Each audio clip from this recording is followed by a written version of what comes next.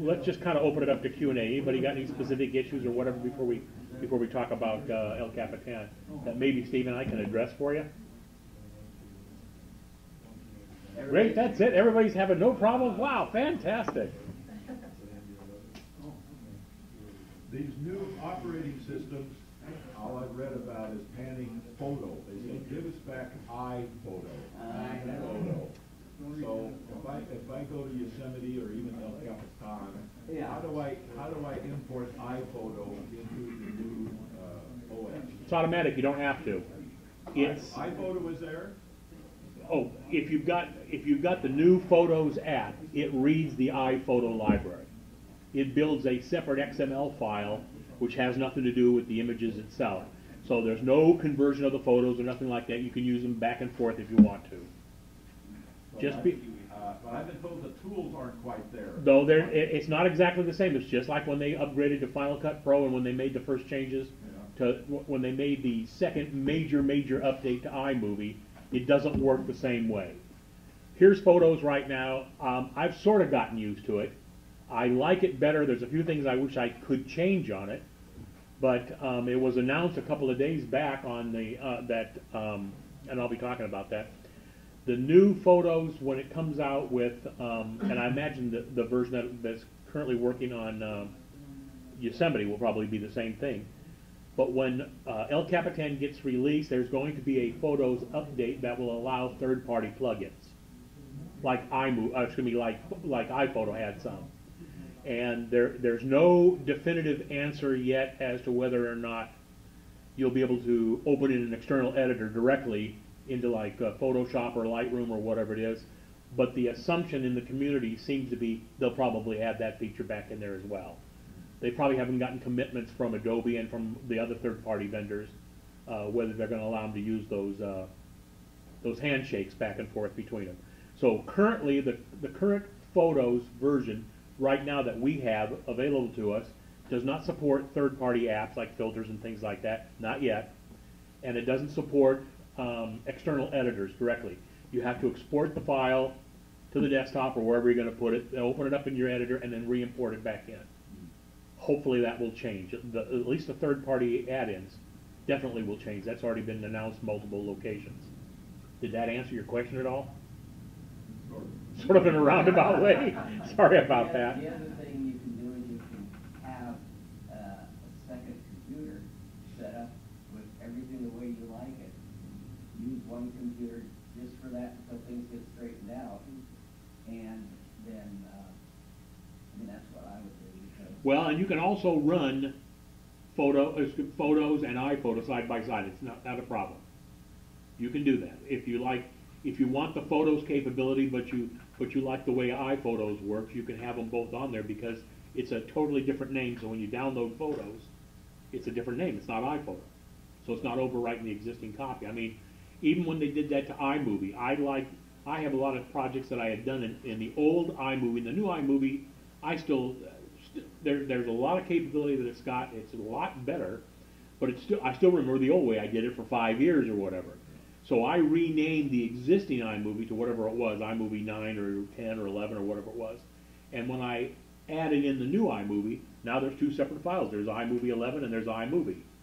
iMovie being the current one, iMovie 11 being the older version. If I so I didn't have to convert a project over if I needed to go back and work on it. So at the moment they they could they can coexist. So if you were to run photos and iPhotos side by side, would you then have two separate libraries?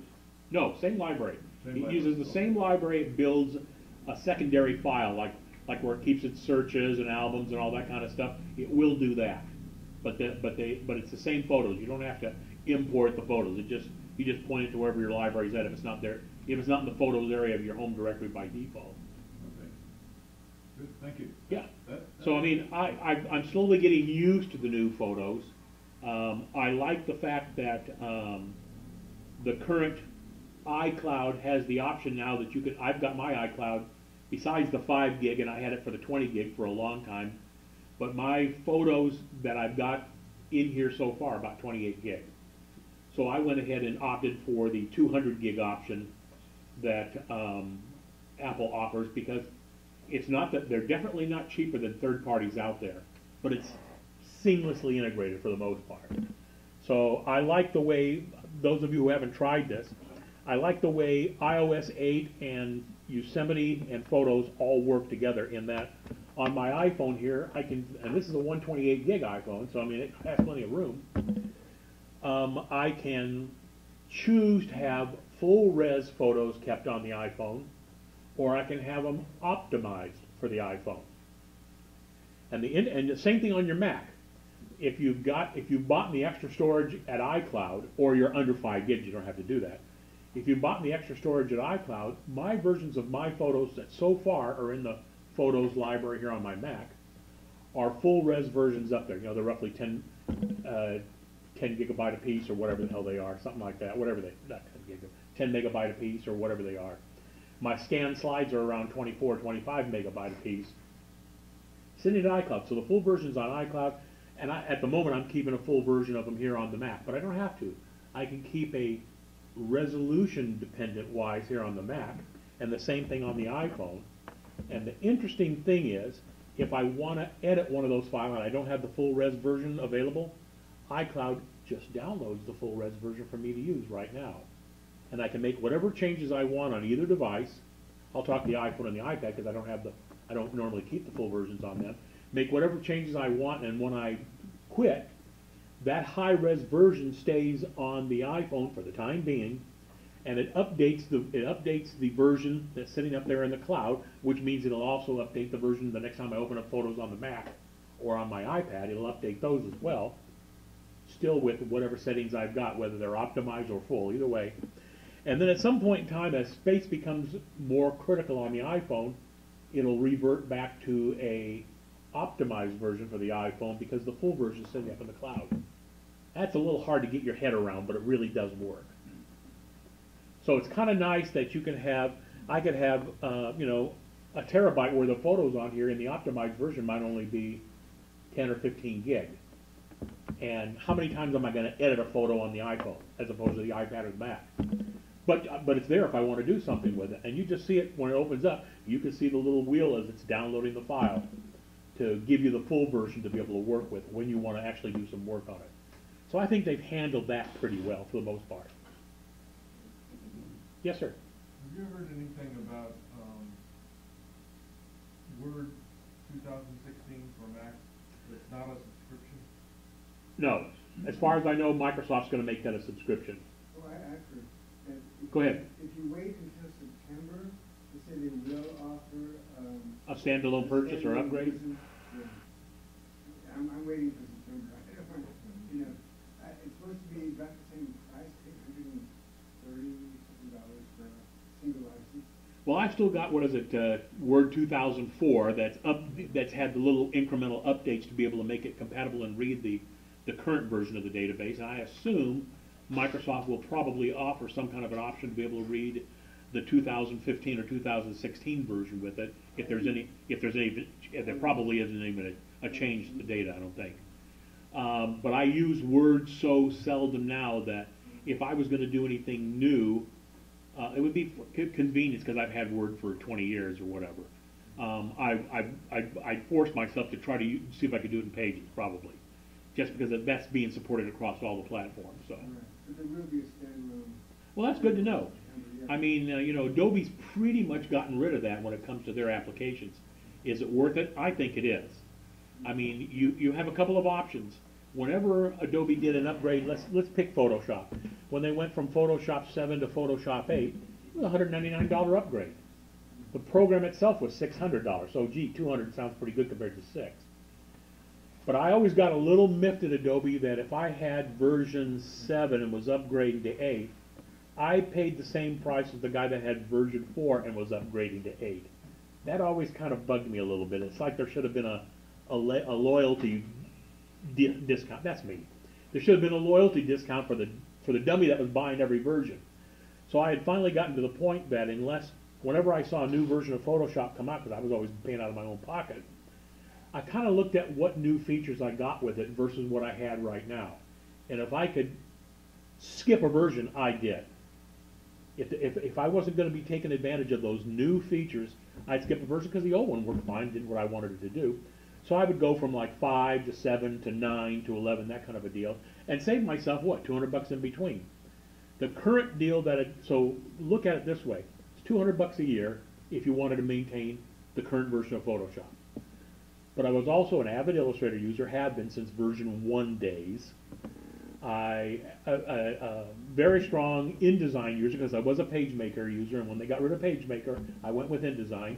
So I've been current with InDesign, and I'm playing a little bit with Dreamweaver, not seriously, but I'm playing a little bit with that.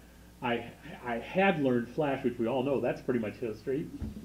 So the problem was every time a new version of anything came out from Adobe, the magical price was 199 for an upgrade. So in a given year, it's conceivable they would upgrade Illustrator, Photoshop, and InDesign, the three that I use most of the time. That was $600 worth of upgrades per year. If I skipped every other year, it was $300. That's the way I looked at it. Their current plan, if you sign up for Creative Cloud, the full Creative Cloud subscription, is $30 a month or 360 a year for every piece of software that Adobe makes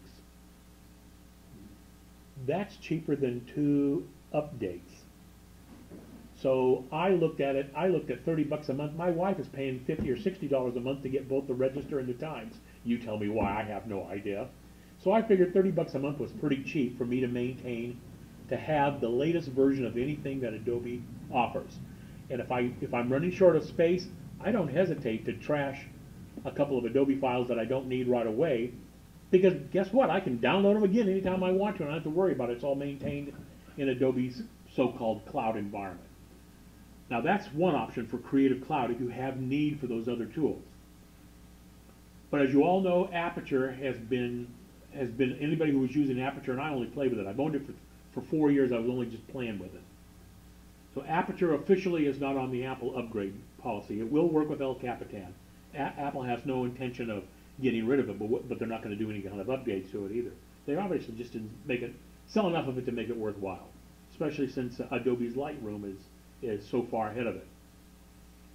So I look at it from the standpoint that, okay, the one I really want to use for when I'm doing digital photography is either, I'm either going to use photos if it's quick and dirty, or maybe I'd use Lightroom if I want to do something for my, from the, I haven't done any serious uh, image competition for a couple of years, but if I want to get back into that, I probably will someday. Or if I really want to, you know, do some blemish retouching or something like that on a photo, I would use Photoshop because that's what I'm used to using. You can get Photoshop and Lightroom, the two most popular image editing programs around, for a subscription price of $10 a month. So for $120 a year, that gives you a current version of Photoshop and a current version of Lightroom that you have available to you all the time. Less than one normal Adobe upgrade price. So now it starts to become kind of realistic. If I find myself in another year or two not really using Illustrator and and um, InDesign, uh, which I haven't hardly done anything with it this last year, I'll drop my $30 a month subscription back down to $10 a month just to maintain those two because those are the two I'm really going to use seriously. So I look at the subscription price as, uh, yeah, it's nice to own it. Do you own it? No. You have the right to use it. That's what that law, that's the way that really reads. Basically you're renting. You're renting the software. That's exactly what it is. I mean, I, I, I, I work at Broadcom and I install software tools, design tools for the users. And somebody the other day said, we'd like to get another 10 licenses of this software. Holy mackerel, it's $3,600 a license per month. And, and they have to buy it in three month increments, and he wants 10 licenses. So that's going to be 36, that's going to be roughly 100 grand for, for, for his group to have, you know, his, his group will get exclusive rights to those 10 licenses. They won't make it available to the other Broadcom people because it's going to come out of their budget rather than out of the Broadcom generic budget. I'm glad I'm not the finance guy that has to figure this crap out. So we have to we have to install the licenses as a on a separate license server and make it unique just to these eight or ten individuals that he's got, and it will look the, for the licenses for him there before it goes out and looks everywhere else. And if they're willing to pick it up out of their budget, what do I care? I'm just all I do is just do the installs. So I mean, you know, gee, ten or ten to thirty dollars a month looks real cheap for one guy, you know.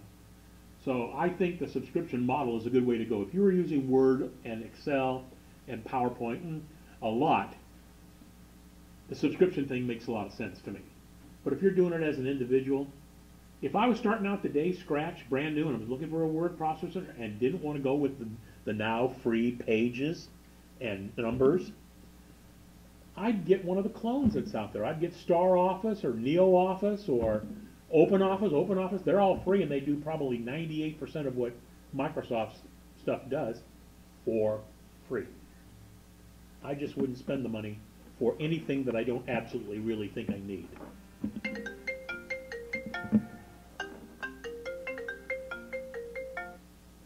Not that important. Didn't have a name. Probably an ad. Um, does, does that help out anybody? Does that make any sense what I said there? Yep. I think that's, if, if you need something now, I'd be tempted to go with one of the free ones. Or Pages, because Pages is free for all practical purposes now. One, one of the issues for me is, if I make a spreadsheet or a Word document and then send it to someone else, that they can then view it in the format that I sent it in.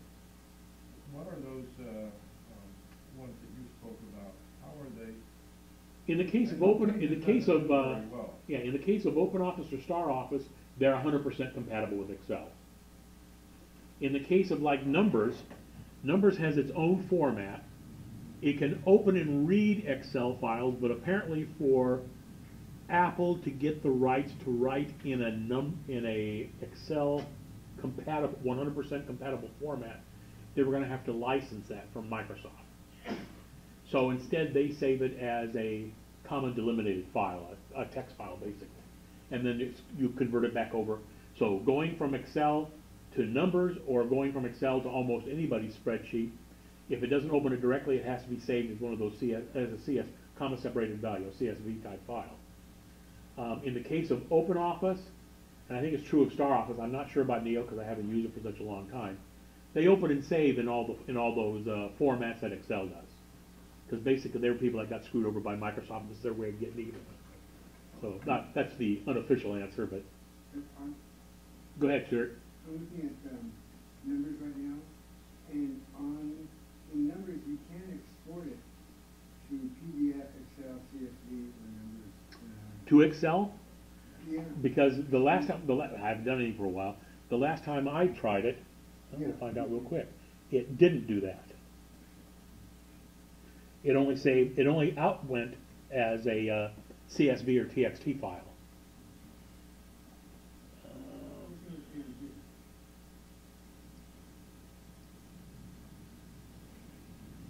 Huh, Great, don't have anything current. All right, so let's make one up. Yeah, I just, I just typed it into the random numbers. Yeah.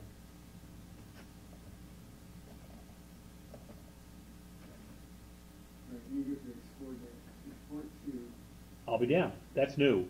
yeah. So that's, that's, that's changed, um, that's changed, uh, shows you how often I've used numbers. Look at that. There's Microsoft's current, current most recent format is, is XLS and the X means extended version. And also to do it in XLS. The, yeah, there. Good for them. So somewhere along the line, they've negotiated something with somebody. That money talks, doesn't it? It's not like the world's most most profitable company can't can't afford to do something like that. So cool. There's your answer. Do you have numbers already? No, What version of the operating system are you running? no. I can't remember when they started making it free. I'm gonna soon get a new one, so. You are okay. Be, What- because because software it, get on it? yeah, That's def, my question. right. Definitely, definitely Yosemite All the stuff that- and uh, Mountain Lion and Mavericks.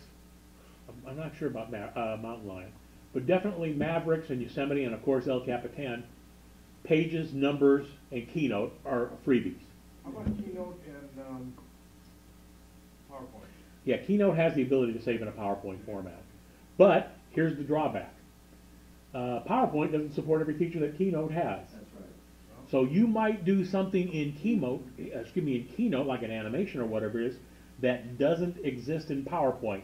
When you export it, uh, Keynote's bright enough to say, save it as a QuickTime movie, and that's the way it's going to integrate it. But it won't have all the functionality, but it'll have probably 99% of it. Can you make, will Keynote open straight away in Yep. PPS? Yep. Now, if you got them both on here, by default, it's gonna open up PowerPoint, but you can always do a right command, open with, or, or go back and, you know, go into get info and say, always open with this program. You always have that ability. You know what he's talking about? Does everybody know what I mentioned by that? If you've got, like as an example, my default, I'm gonna quit this. No, I don't wanna save this junk. So as an example, let's, let me go find something that is a taste, tasteless to look at. Not that I ever have that. Okay, there's a good example. If I double click this medical XLS file, probably something for the tax guy, and I haven't bothered to format it. Yep, that's exactly what it is. So in this case, it opened in numbers because I already changed it over. But I have the option, if I do a right mouse click, see it's gonna default to, it would normally default to Microsoft Excel because it recognizes XLS as their default format. But I can also say, open it in Bento, or open it in Numbers, or open it with, with a preview, and, and Apple will do the conversion on the, on the, on the hand. If I wanna make this a regular thing, to open in one particular format, I can do a get info on that particular file, and look at right here in this column right here, it says, see, it's already been changed, I've already changed my XLS files to open in Numbers. But if I want this to always open in Microsoft Excel, the default, I can just leave it like that, and the next time I open that file,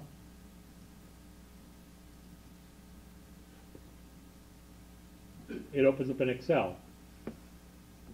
And there's another way to do that too. And uh, before I ask you to, to tell me, but I also have the option, because maybe it's only onesie twosie files that I really want to do that with. If you notice, there's an option here to change all.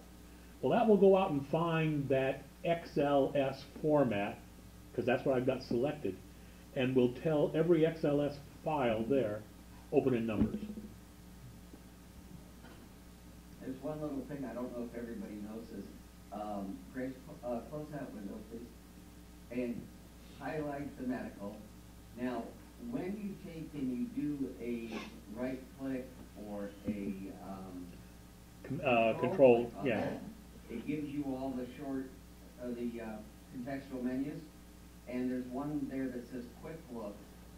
Basically, if you wanna look at it, um, there, now, it's not open in the application itself, it's just a quick look. It's actually opened in a variation of preview is what it is. Yeah. But it's not called preview. Now, I didn't even have to do that. Like Steve was saying, if I just highlight that file and hit the space bar, That's what I was just trying yeah, to. sorry. I took your, took your thunder, Steve, sorry about that. You're too late. And you don't stutter around.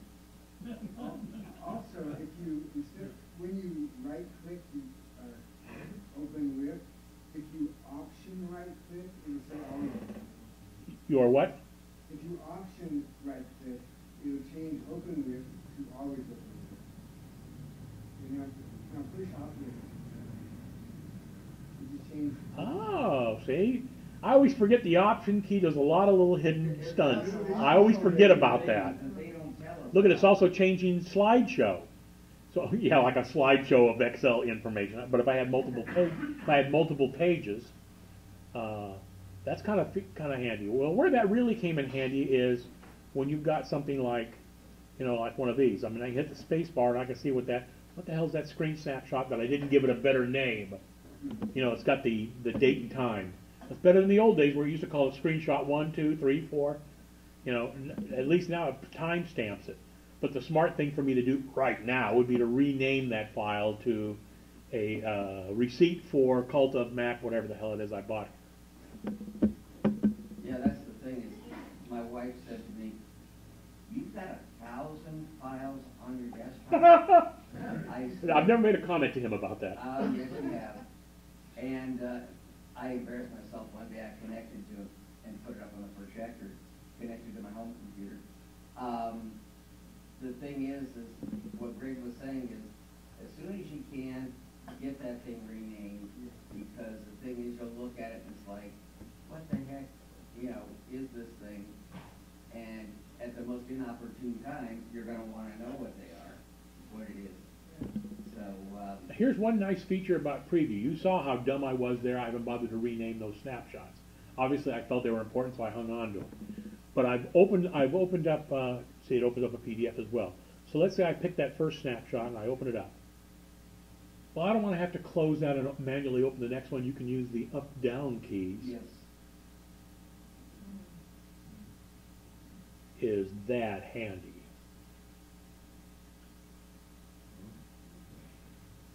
Yeah, it's, it's really, uh, great for that. Hey, a free individual deserves. Yeah, it's probably out, it's, the time's are, February eighteenth, yeah, I'm a little slow, I haven't gotten around to getting rid of those. I never, I try not to print anything, in fact, I probably haven't used the printer in a year. Um, I almost always save a screen snapshot of everything or print to PDF or whatever. And more and more of these, like as an example, if I went to Boston Market, if I put that as a picture inside my phone, more and more of these places, if you just show them the phone, they'll accept that as a, rather than a piece of paper. Not always, sometimes I have to have those to get, to get reimbursed. Yeah, Corky? Well, just one thing that, come, I noticed that you adopted, what I've been doing for years, and then file names, you've got it year, month, day. No, that's what Apple chooses. Oh, did, hey, fantastic. I don't file stuff that way because I started thirty years ago filing it a different way. Well, the way, the standard with the year at the end is the way I learned it as well when I was. a And that's fine, that's the way we all think. Sense To me, though, to have the big number on the wrong end. Now, I've already explained to you what caused me to change it. And once you change it, it just makes so much more sense to have the big number on the left instead of the right. Well, that's a, that's a personal choice, isn't it? Well, but then anything you've got, where you have the date in it, you don't have to have a special date column. Any ordinary, um, uh, math column will work. It's gonna sort in the right sequence. Doesn't take anything special, it's gonna work at a glance, boom. That works for you. In fact. In me, in my case, in the case of that first one up there, uh, I would call it thirteen, thirteen, twelve, twenty-one. Exactly, you don't need the two zero, from a hundred years before it has to go to twenty-one. No, I realize that. So just use the. That's the way Apple does it. Those are, s- those are the screenshots from Apple. And by the way, there are utilities out there like Tinker Tool that will let you go customize how that comes out if you want to. Sounds like it's worthwhile talking to Apple then, I guess we're gonna adopt it. They must have listened to you, Corky. That must have, I'm sure you were the one they listened to. They to. must have, yeah. It makes so much sense.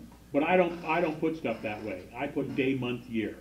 So normally mine would be 21, 12, 13. Because that's the way I've been doing it since my Unix days, forty years ago or whatever. And I wanted it in the six digits and I wanted to be able to sort it based on that. So that's way, you know, before you had all these other options, that's the way I got in the habit of doing it, so. Hmm, and most countries in the world do it that way. You know what? That's why computers allow us to do whatever we want. That's the advantage to that. Most of the time. It's Like, uh, I send a thing into Apple and I'm, I'm waiting for, well, you, did you download nine for iOS? No, I was going to, Yeah. and, and, um, I was gonna put it on my iPad, and I just ran it. Cause, cause. I figured, that we, ha- next month we have Allison Sheridan's gonna come out and talk about her password management procedure, Uh-huh, and, um, we'll probably do an iOS nine. Yeah, because the thing Talk was, then. I, myself and a couple of other people, um, have run into this quote problem, is every time you're putting in numbers, they give you a keypad. The, or, or, um, on the keyboard, you know, like you're sending a text message or something, and it comes up, your, uh, backspace or delete is always right there on It the is right warm and stuffy in here, isn't it? And we need to get, we need to make it a little cooler. All cooler. you gotta do is just let me know. Um, and so. People passing out don't work? I don't have eyes in the back of my head. Um, okay, now you got me, now I forgot what I was going. Where is it right now? What temperature does it stay right now? Seventy-eight.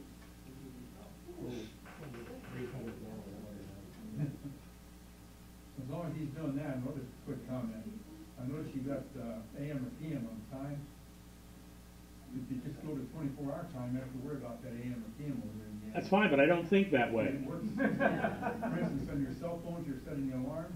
No, I don't have it set, I don't show it that way on my cell phone. Change that AM or PM. Hey, you know, you're lucky it doesn't show bells, the nautical term. I don't happen to like, I like AM, PM. Okay, that's fine. Yeah, I don't like that having to figure out. No, I don't have a problem with that. I don't, I mean, obviously in I AM gotta it's easy. subtract, I gotta subtract. I don't have a problem with that because I'm dealing with, at work, I'm dealing with worldwide. I've got machines located in thirty-two different physical locations around the world. Oh, my And we're dealing with the date time stamps on them all the time. That means you got a GMT in all this time, huh? Yeah, whatever. It doesn't, that doesn't bother me, so I don't let it. You know what GMT is, right? Greenwich Mean Time. Yeah, okay. UTC. Yeah, Universal Coordinated Time. Yeah. So, yes,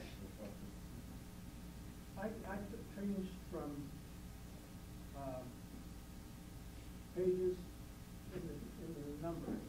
How do I change back from numbers to pages? I can't seem to do it. you're, So- ta- you're talking about, A single file you've got that way that you wanna put back? When you, so you went, I, I have a long list of number, or names. okay, Now, I have them in two columns in pages. okay, And as text. I mean, you can, you can select them individually, right? text. Okay, And each column consists of a first part and a second part. And I can change it over to numbers, and I can alphabetize got it over there and alphabetized, and now I can't get it back.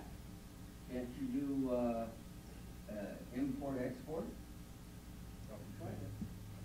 Okay, Greg's gonna try it for you. Well, that's just a copy and paste.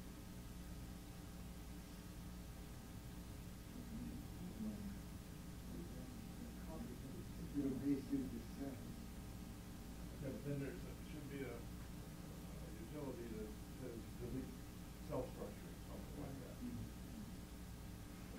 Copy and paste would be good, except that it was probably about two thousand on the list. I didn't put a space there, that's why I didn't get carried. Yeah.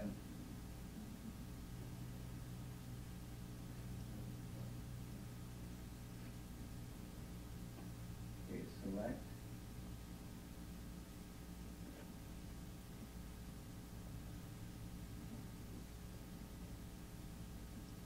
They're individual, so you can edit it, but it thinks, but it uh, brings it over by default with the cell format.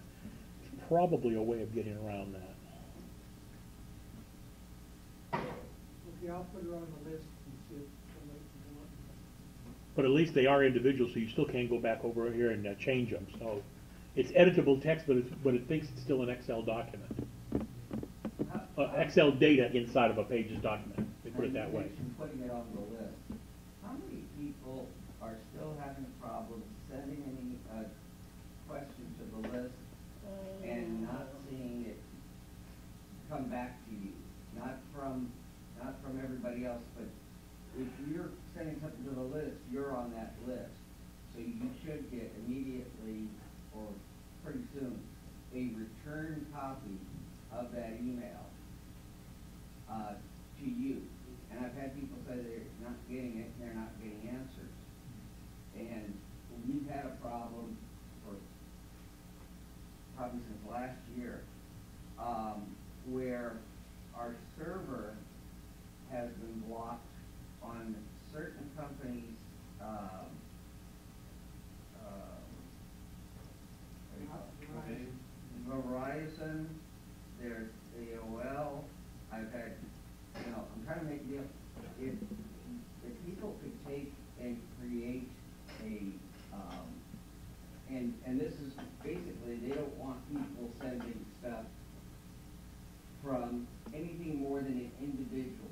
So like, say for instance, Greg puts out an announce, it may not get to everybody, so I went through the membership list and, uh, selected all the people that had Verizon website. And they may not get it through there, but they may get it if I send it direct to them. So these companies, um, uh, Yahoo, okay, they take and they block it if it doesn't come from this actual sender. And that's caused us ungodly trouble, and the, uh, I really think that it, it, sh- everything should work, but I've asked that people try and get a, um,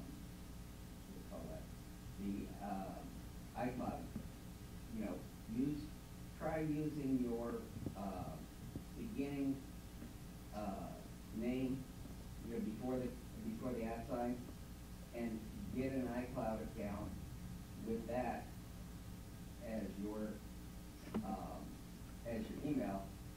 And then that way, when you set it up as an email account and you mail, it will then, everything that comes from OACC will go right there because, um, they don't have the same restriction at Apple. So. But nobody here is the people that, uh, didn't get it? I got two actually, but you, you, uh, same stuff, uh, Matt, we. Well, Greg likes. You, Stuart, you're probably still in the possibles list, I'll go back and check that. Whenever somebody says, I wanna be on your mailing list, or, or I think they might wanna be on the mailing list or whatever, I add up, they don't, they're not on the OACC list, but they're, but they go into the column of what I call the OACC possibles. And so probably when you became a regular member and were added to the OACC announced group that Steve's, uh, the Media Blend handles, I probably still left you in mind. So I send sometimes I'll make the, um, sometimes I'll say, make sure, for the one that go, for the message that goes out to the members, be sure to bring along a friend or whatever, I'll say something along those lines. For the one that goes out to everybody else, cause I send it twice, the possibles, I may put a note down there that says, membership is twenty bucks a year, you don't need to hear that, and your first meeting is free. So sometimes, when I'm not so busy at night, I'll go ahead and make them slightly, the message is slightly different. But you're probably still in the possibles list, I'll check that. Possible. It's possible. Okay. I see everybody sitting around like this. Well, we can definitely cut bait, cut and paste back and forth, that's not a problem, but to, to, to release it out of the Excel format, I'm sure there's a way of doing it, and I'll, when I get a chance, I'll do a Google search on it if, you know, I'm sure there's a way of doing it. At least, at least you can turn off all the grid line crap when it's not selected, and, uh, you could, you could also turn this off, I could have exported it that way, and I didn't. That help? There's gotta be a way of doing it, there always is. Apple, Apple supports almost every practical way of doing stuff. Okay, what else? What else can we talk about? Everybody- Everybody else is fine? I can't believe it. Well, should we talk about, uh, uh, yes, sir? I ran into a problem that took hours and hours and hours to solve. Uh, I, I had to download a program, and along with it came something I didn't ask for. It was called MacDen. I didn't realize. Called Mac what?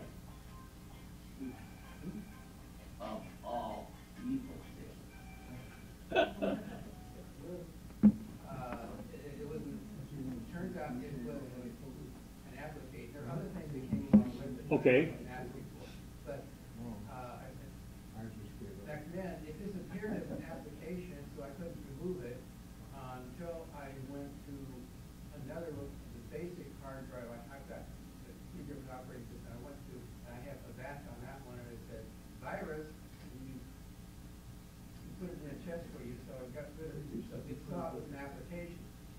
So, it clock hooked it, itself as an application, but when I, when I went to, uh, I, I Googled on my other computer, my real Mac Mini, and asked, what do you do about this? Uh, I finally found it, said, what you do?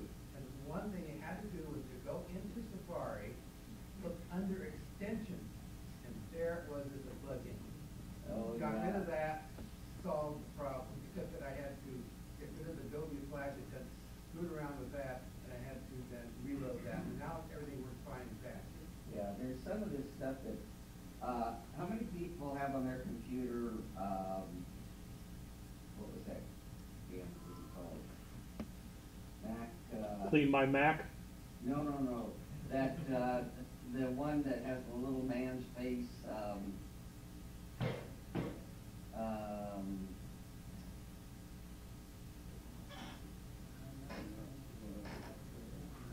Uh, I was always telling people, to get rid of it, um, Mac Keeper. Oh, Mac Keeper. Okay, now, the funny thing is, I'm hearing both sides of the thing. some people say, well, it's okay now, you know, and all that stuff. But before, I mean, it takes control in, of your computer if there's any little piece left over. When you're on Safari and you're closing windows and stuff, bingo. At the last window, there it is.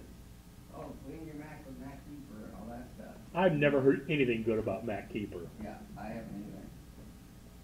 It's just been a nightmare. Look at to me when you're when you're checking out sites that you shouldn't be checking out, and there's an ad for Mac Keeper in there, that ought to be a good indicator right there. That ain't a good site to be at.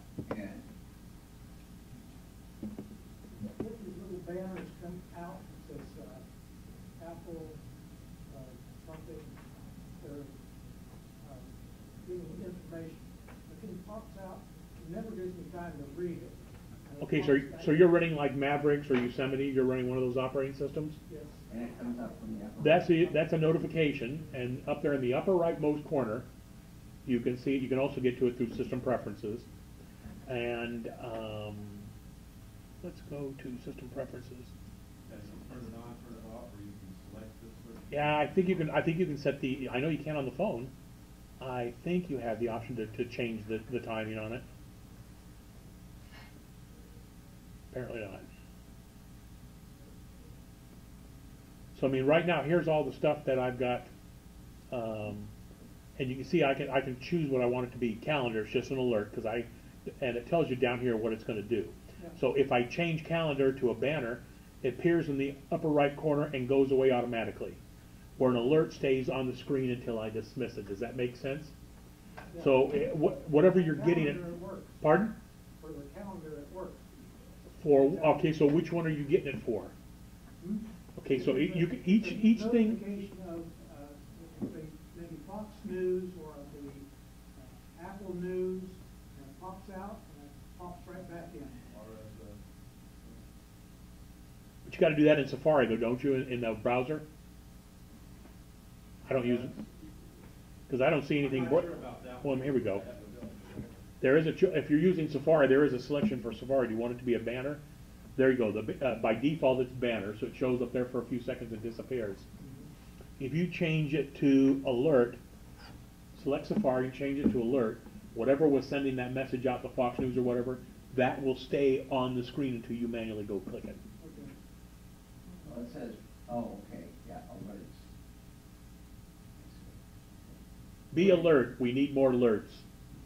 It's an old joke. Oh, God, that one is. So see, I have I have things like the calendar and Facebook and FaceTime. I think I've got those all set. I don't care about mail. Mail is mail is none because I got was getting so much junk mail showing up there, and I leave mail open most of the time. But like in the case of uh, FaceTime, it's a banner. I mean, I don't need to see if I change it to an alert. I'm gonna have a message on the screen. So if I've been gone for an hour or two and come back, I can say, "Oh well, my sister uh, tried to FaceTime me from Hawaii." But I also have, since I have FaceTime in the dock, I'll see a little badge symbol on the FaceTime that somebody tried to get a hold of me that way. So totally customizable. You either have it show up or not show up, or only show up for a fraction of a second.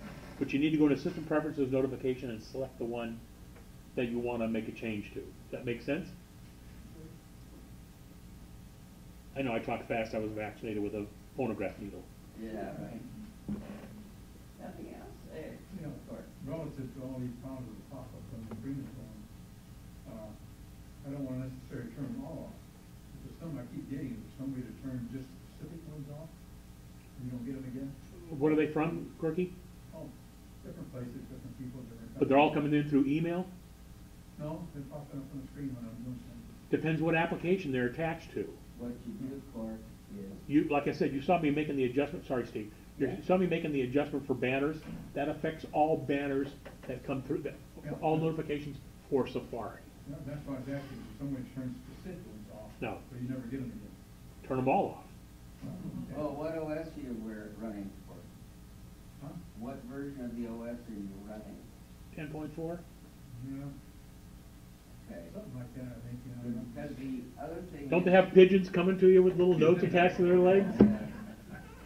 Um, if you take a, a screenshot of it, That'll help. command shift, uh, three, four, well, four allows you to, Window. you know, select it. But the thing is, is we wanna see what you're running it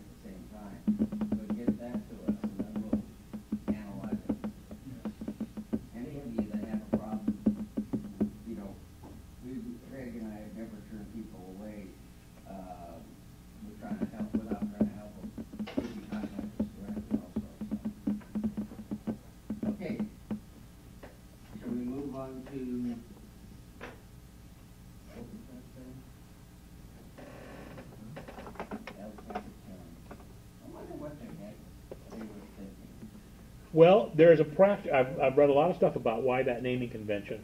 Think of it this way. Remember they did it with leopard and the next version came out with snow leopard. Yeah, And they did it with lion and the next version that came out was mountain lion. yeah. In both cases, the secondary use of the name seemed to imply that it was an improved version of what they had.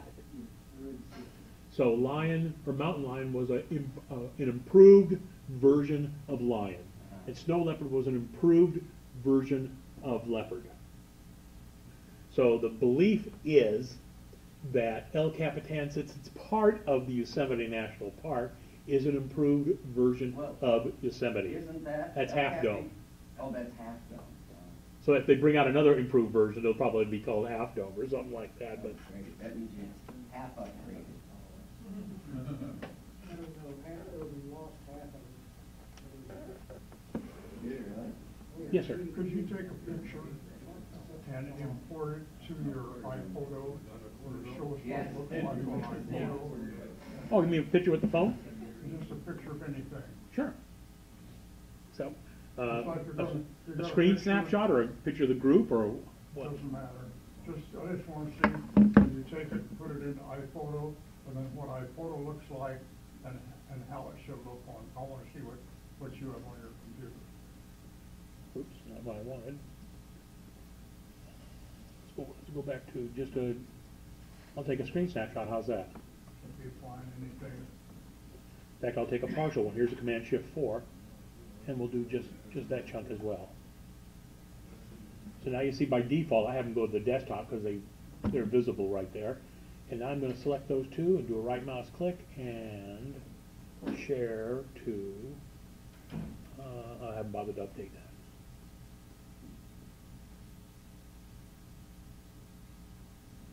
Nope, it doesn't have it in the share sheet, so we'll open it, we'll do it from photos.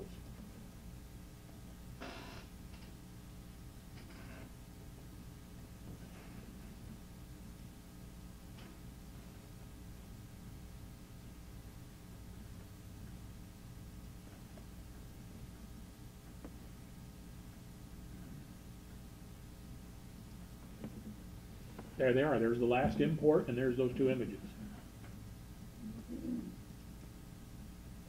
Well, when I take a picture, it's on my desktop. Okay, I, of I, a dog, or Okay. a girl or whatever, and I drop it into iPhoto. okay, Uh, that's what I'd like you to do. oh, So I could see that, and then see your iPhoto and see, see how it all goes together. It seems like anymore it's a, it's a hassle.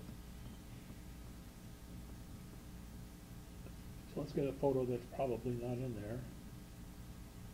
Um, I want the library, what's that's good, hey, what the hell, she, she's hidden, right? This is on a cover of a magazine, so it shouldn't be too bad.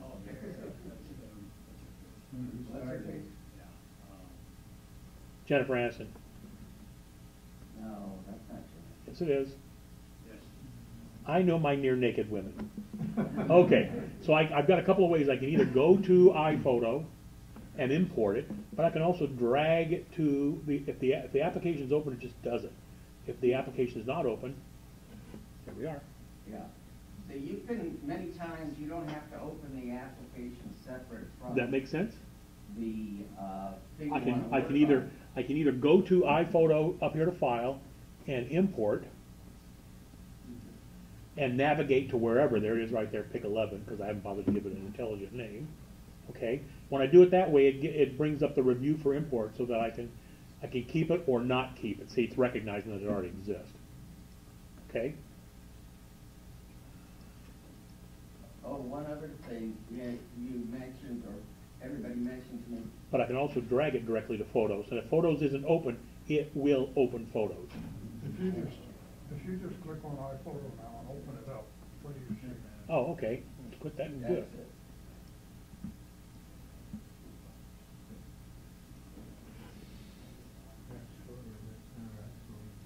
Okay, in this particular case, it remembered the last thing I had open was the last import, the last thing I imported, so it defaulted to open up that.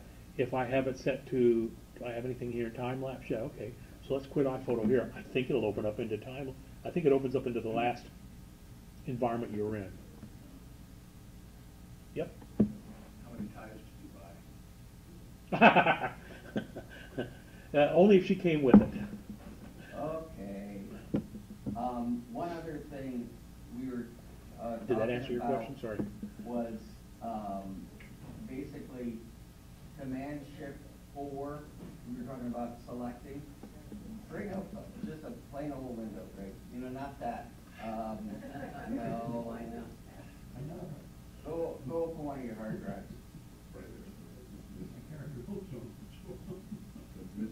Okay, now, instead of having, um, a screen that shows both windows, do, uh, do this. Press the space bar, Whoops, hang on.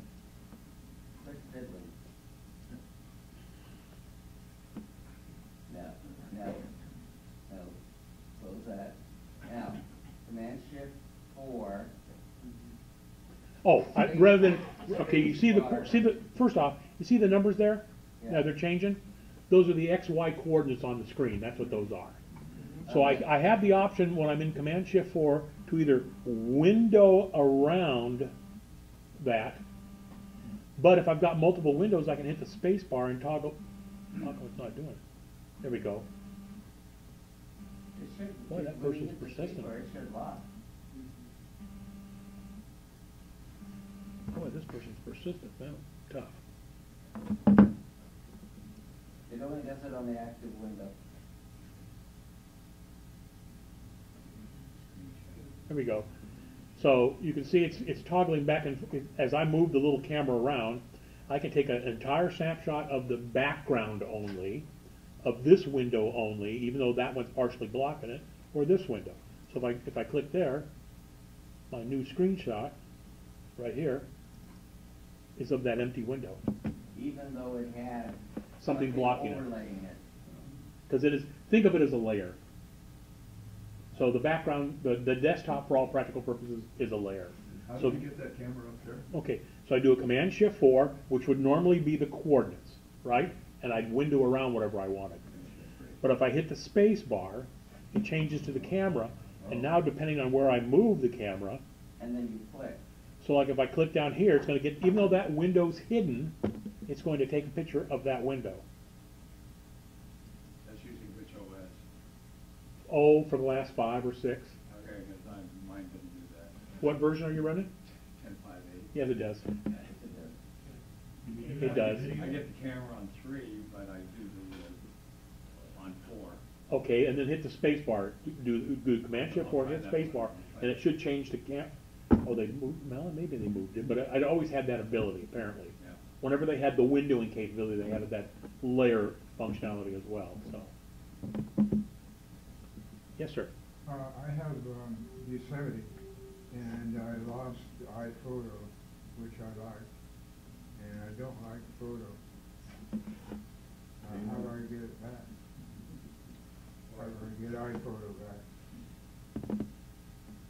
You got an answer, Frank? Why don't you talk about that, and the thing to do is, uh, but since you've already done that, if you've imported your stuff into the new photo, you can't, it, it's not reversible. Yeah, it is.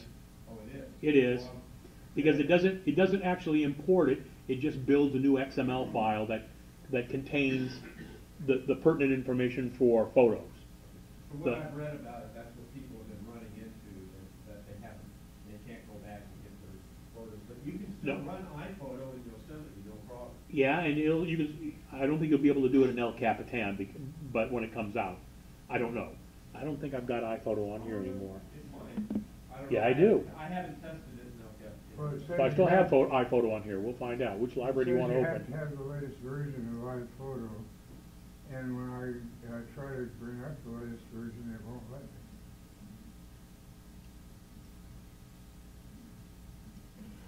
Yeah, I mean, back at home, I have our photo, but it has the the bar through it, I think, you know, something else. I'm Also, something on photos, the new photos, I've noticed that when you, if you close photos, you, by clicking the red button, in different, it, it actually quits the program.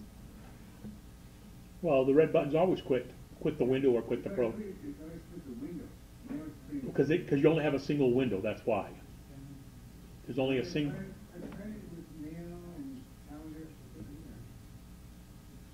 I couldn't tell you, Stuart.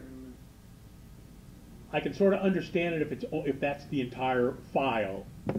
It doesn't do it in iTunes, in fact, sometimes you gotta go up and you gotta come down and scroll down to iTunes, that's still a little sloppy from that standpoint. Well, there are certain programs that will quit with hitting the red button on the window. Like if you go into system preferences and you close it, then that will. Yeah, it's always been my understanding, Frank, if it supports multiple windows within the program, then it just quits the window. Right, right, Oh, I got it. right.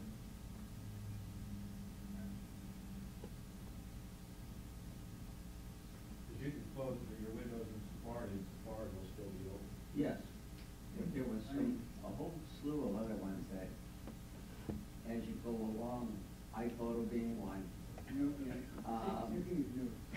probably, I never noticed that. yeah, and probably, uh, um, iTunes. Because it doesn't have separate windows. Oops. Who knows, who knows, I had too many keys here. Ah, it really doesn't like that, there we go. I'm just too, in- I'm too eager. Thank God you can do that and it usually doesn't do any major damage. Shall we try to take a look at, uh, Yeah, at the new stuff? maybe we'll get to go home. You don't find me scintillating? I don't find me scintillating.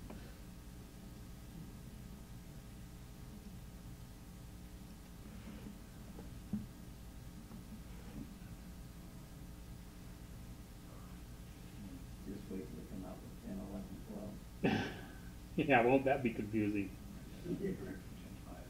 I love it how Microsoft is capitalizing on ten. They bypassed Windows nine completely. They never had, Oh, and they went directly to ten. And they do it with an X. And it is free. Yeah, it is. You're right. It's only free though to people that have had seven or eight. It's not free to people who have like XP. They have to pay the hundred and thirty dollars. So, which essentially Ma- Apple was that way too when they Yeah. made that change way back when. Yeah, they, you know, that was really an important step for them to do, was to make it so that it's free to those people, you know, that, Not free to corporate. Corporate still has to pay the corporate price if they want to buy a whole bunch of licenses of Windows 10. It's Wow. only for individuals. yeah. But that's the important part. Well, it's like, you know, who's got the bigger pockets? Let's hope this works with this. It's only free for the first year. Is that what it is, Frank? Because after, uh, July twenty-ninth, next year, you have to pay for it, it's no longer free. You have to do it within this year period. They're probably just trying. I mean, Apple makes a big thing of how many people migrated to Yosemite and to you know to all the various versions. I think that's probably why they're doing that is to is to be able to say and four billion people switched over to Windows 10. You know, Yeah. I'm sure it's going to be an advertising thing. That's You not. have Good work. How about that? rollover. You can be doing something on your computer and it will initiate an update. Yeah, yeah. You can't, you can't disable. Wasn't 100 percent sure Cannot this is going to work with the display yeah, stuff. Windows Home. Windows Pro, I think that you do have disabled, it's automatically disabled in, uh, the enterprise version.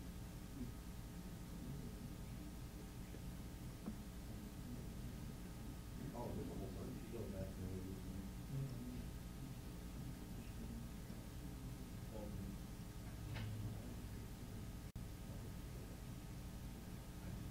Or, or you're putting working on a new version of, of, um, Yosemite or whatever. Th- This, it should be, but it doesn't look like it Is that what is. you're doing?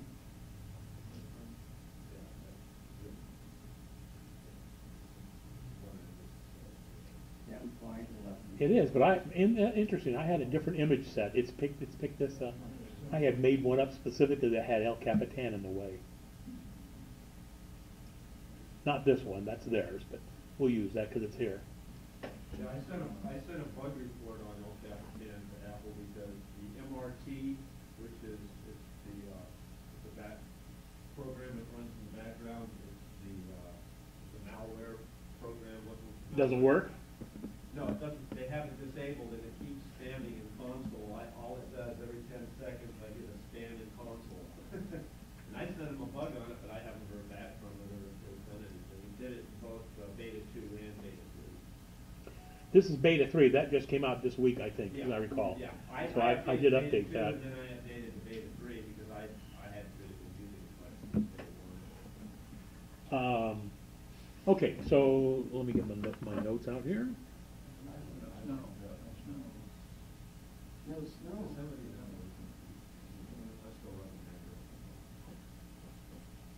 They said, Greg, that, um, in an article somebody had, that, um, the corporate, this, you know, corporate people are very slow, being very slow to go to ten.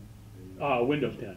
Yes, Windows ten. And that's understandable, Steve. We're at Windows 7. We finally, our company just finally made the decision in my group that if you, because we have a lot of PC-based tools, I'm not talking like Acrobat and Photoshop stuff, we have that, but that Right. doesn't fall in, I'm talking about CAD design stuff. Uh, if you want to put it on a laptop, that's a Windows XP, it's at your responsibility. If it don't work, that's your problem. Yeah. We're not, our group's not gonna help you at all. If you're not on at least Windows seven, we're not gonna help you. We just, we just had to cut it off somewhere along the line, cause, Oh, yeah. I mean, these are people who have company laptops, first off. But some of them are just, well, yeah, I really don't like the new Windows.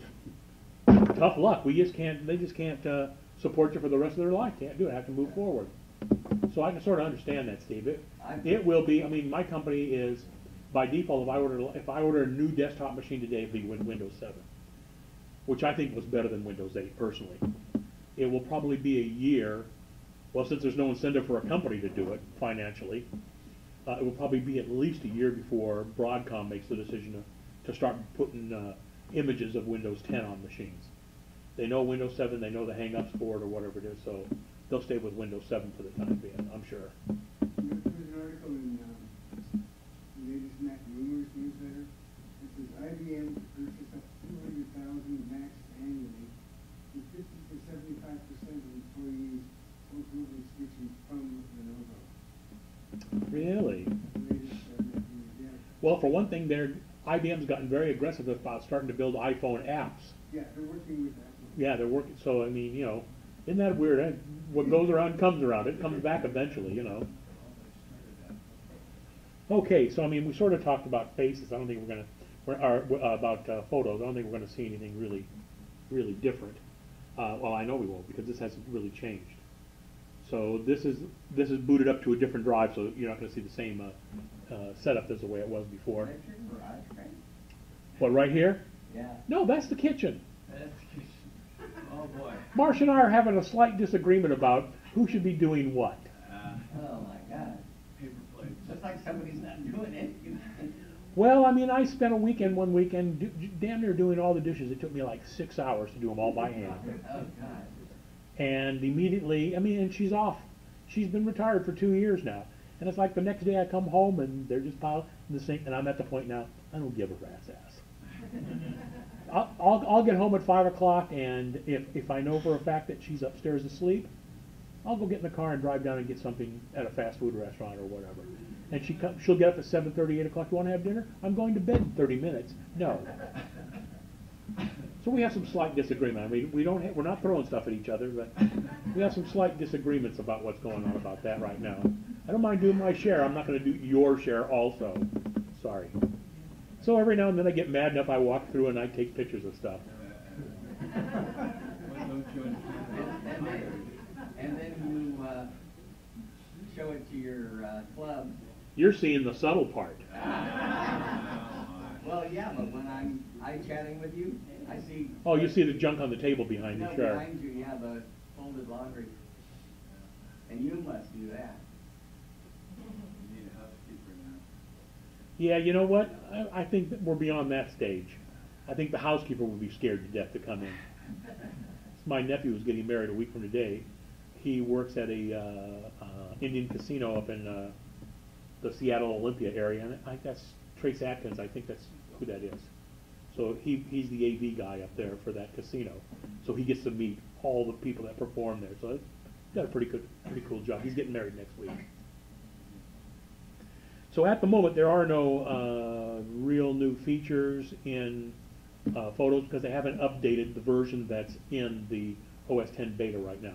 In fact, interesting enough, uh, Apple actually sent out, I don't know whether anybody see, seen that uh, in uh, Apple News, uh, if you're running either iOS 9 beta or El Capitan beta, you can't review stuff, which I think is right because people would have something like I'll I'll just pick like uh, uh, uh, Fantastical, which I use on both the iPhone and uh, the Mac uh, for a, cal- a calendaring program. I like that as a front end to uh, the calendar program.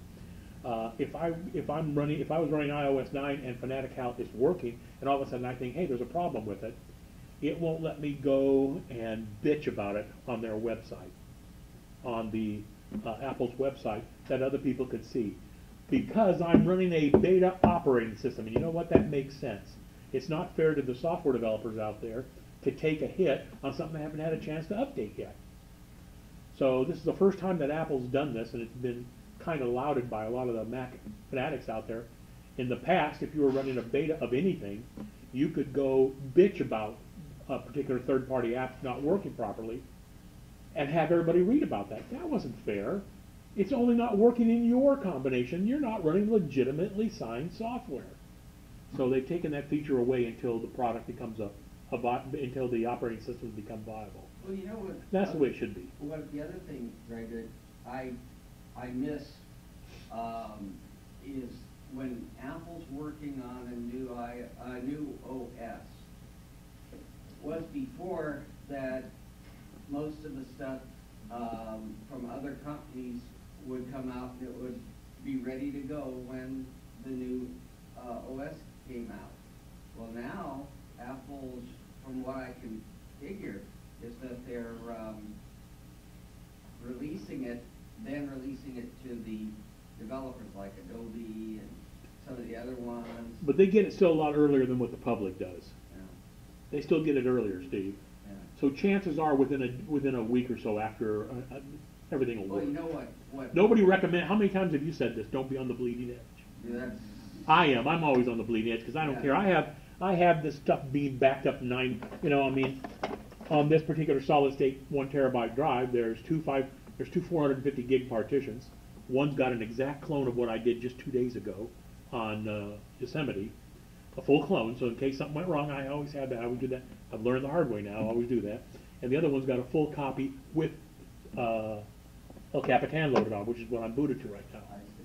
And so, worst case scenario, yeah, I'll go ahead and upgrade, but I'll probably clone it over onto this solid state drive before I make the upgrade. So if I find three or four days later that was a problem, I can go back.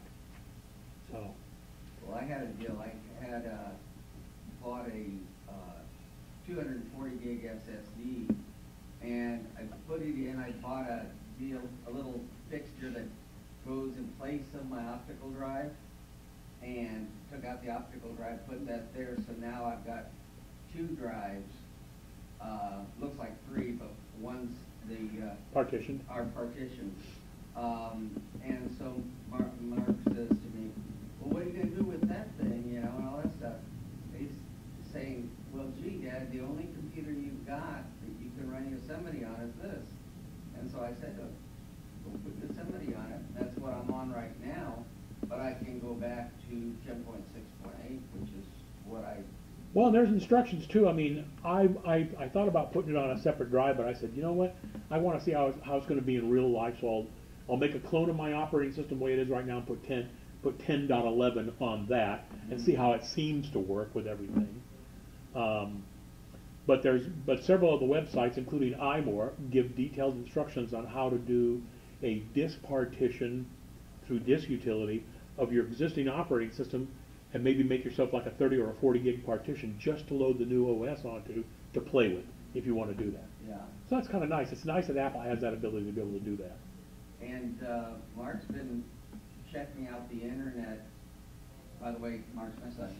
Um, and what he's found is, he found something that, uh, you can put, cause we have, we both have the exact same two thousand and six, uh, Mac Pro tower. And unfortunately, Apple in their wisdom, it's a sixty-four bit machine, but it's not included to be able to run Yosemite. And so, um, so what happens is you found there's a place, someone has developed a EMT or EMI or something, um, that handles the booting. and- Oh, yeah, it's EFI, EFI. EFI, yeah. And, um, I forget what the acronym means. Electronic Firm Integration, something like that? Yeah. Something like that. Basically, it's, it's the. Replacement for BIOS, It's right? the application that, that basically does the conversion between your actual motherboard and the machine language and the operating. Okay, That's, that's what its purpose. okay. And so, uh, he found that he wanted to try this, I says, here, here's a, a, you know, five hundred gig hard drive, go, you know, knock yourself out. And he's been able to boot it Yeah, on, uh, on his Mac Pro. yeah, that, there, yeah, I was gonna mention that there, there's a, you know, you know, with all the Hackintosh's out there, that's where that was born of. Yeah, Cool. You know, it, you you even take the old Power Macs, you know, I'm running ten four on my old eighty-six hundred. So, These are just funny images And that people, people send to me. I, Over here in the corner, he's got an HP Hackintosh that her son sent her. yeah, well, I've got, you know, I got my Hackin, I brought mine in a couple. Yeah, I have one, I have one that a friend of mine gave me because he was getting frustrated with it, maybe I should let my son at that and see if he can make it work. You know, because, uh, the reason I got it was he said he couldn't get, um, Wi-Fi to work. You know, Well, that, there, there, you need to find out what Wi-Fi card that, that, that built into that machine, because there's certain ones that don't support, support it. Oh. I've got, I've got a Wi-Fi card in my, uh, my Hackintosh tower at home, Apple doesn't recognize it. Well, this is a notebook, which really. No, but I'm, just- I'm just saying, even the notebook. Yeah, but you can get a third-party Wi-Fi like what we've showed in the past, Steve, you know, Oh, like. yeah, where you plug it in Yeah. and, Get a USB and yeah. dongle and plug it in and have it done. No, there are certain ones. Right.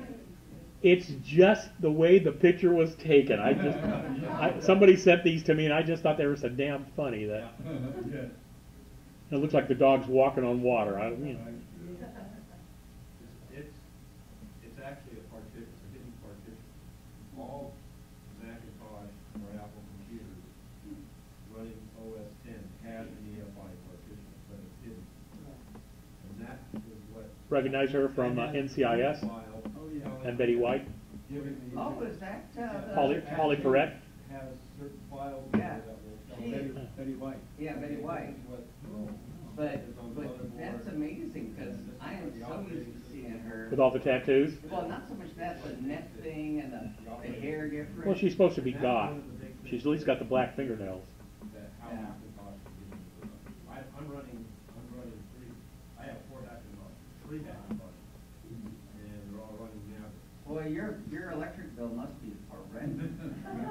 No, because they're not all turned on. Oh, No, the air conditioners will use power. so, Greg, what are the new features? Oh. Oh, there's really no, there's really, at the, at this point in time, there is no changes to photos. The new photos, when it's officially released, will have the ability to take third-party filters. And maybe open with external editor. Nobody knows for sure, but the belief is, yeah, they'll be able to, you'll be able to designate like Photoshop or Lightroom or whatever you want. So when you want, when you want, uh, uh, something a little bit extra, you'll be able to come down here. Right now, you'd have to go to a short share, and you can't even do that at the moment. You can't even do that. But the belief is it'll have that option. when it comes, when it gets finally released. So Photos is pretty much the way it is right now. Okay. My phone keeps turning out and I keep, uh, I don't know how many problem, people have had this issue, especially if you're working on multiple screens. And- But how many times have you, you can't find your cursor, so you move it around until you, this is a new feature. Come on. Yeah, not doing it. There we go. Saw how it got bigger there? If you just move it up and down a little bit. Come on. There we go. It gets giant for a fraction of a second so that you can figure out where the hell it's at. I find myself moving it from one side, clicking, clicking, clicking, clicking, until I get it over there, unless I make it giant myself. So sometimes it actually disappears. that's true. It can actually disappear. But if you've got two screens set up, that's really easy to do because it could be not in between, but it could be enough of it hanging. I mean, let's face it. You can slide it down here, and all you see is that is well, I've got it set up to where it uh, blacks out. But if I slide it down to one of these corners, um, you can see you can just barely see a dot there. I can tell that it's down there because I have my menu bar on the right here because my screen's wider than it is top and bottom. I'd rather have the, the, the screen height, so I've always got it there. But that's a new feature they've got. Um, one of the new things they're going to have, I don't know whether this version of Notes supports it or not. But Notes is going to have the ability to, besides just be able to put text in, which it can right now, you'll be able to put voice recordings, music, songs, photos, video, screen snapshots, anything inside of Notes. And it'll be available on your iPad and iPhone that way as well. Well, that, this whole thing is gonna be integrated so that everything will go. Well, the whole intention, the whole intention of the notes is right now when you want to move something from your Mac to your iPad or iPhone, it's kind of a pain in the ass. I mean, yeah, you can use AirDrop. That's one way of doing it. But uh, what a convenience to just be able to use. I mean, a lot of people are using Dropbox. I was using Dropbox or Evernote, uh, which supported a lot more things because Notes pretty much was just text only before, and now it's going to be able to support literally anything that Adobe, excuse me, anything that you've been able to just drag and drop. It looks to me like Notes is going to be able to support that. So that'll be a real useful feature as far as I'm concerned. Uh, Spotlight.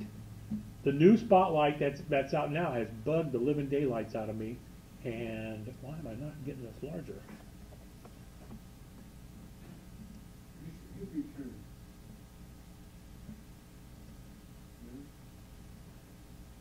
There we go. Took a while. Watch this. It's actually movable again. That has bugged me so much because it always was in the way of everything, unless you're working with two screens. Uh, so now you'll be able to move it out of the way if you want to keep it up for any length of time, and it's adjustable in size. Look at that, I can make it bigger. So they should have had that in the la- in the current version, and who knows, maybe they'll offer a bug fix or something like that. It's not a bug. So, but this will since since they don't charge for these operating systems anymore, that's kind of nice. What does fruit juice do? Why should we- Fruit Juice is um, a battery uh, utility. Boy, does it work slick too. Um, Adrian turned me on to that. I was real bad about um, that because it's plugged in and running 24 hours a day. I was bad about never exercising the battery. So Fruit Juice is a scheduled reminder. It'll come up. There'll be a banner on the screen that'll say, "You should exercise." It's been 632 days or whatever since you've last ran this on battery power. It'll tell you to go ahead. Well, I'll show you. It'll tell you to go ahead and disconnect. Give it a moment here, and it'll come up and it'll say, "Okay, now disconnect your battery." and it'll start running stuff at maximum power or whatever to try to drain the battery down to about 10%. And it'll warn you at the 40%, at the 10, 30%, the 20%, you'll get a banner pop up that'll tell. And then finally it'll say, better plug it in now, better plug it in now. So it's basically a, a battery exerciser. And that was uh, um, Adrian that turned me on. I think it's 10 bucks. But uh, since I, in, in previous laptops, I killed the batteries. When you could change them, it wasn't such a big deal. But since these are all integrated in the newer ones, you can't really get to them. So that's a really useful utility as far as I'm concerned. There'll be a Find My Friends widget, a, a standalone application of some sort that you can put in there, sort of like the one that's on the iPad and the iPhone. which doesn't really exist right now. You can sort of do it klutzy wise through messages if they're on your, uh, if they're listed in your uh, messages uh, buddies. Um, but it'll be it'll be much more flexible when they come out. There'll be a standalone thing, just be able for people that have allowed you to do that. I mean, I think Steve's the only one that's bothered to say, sure, go ahead on my Find My Friends that I put in.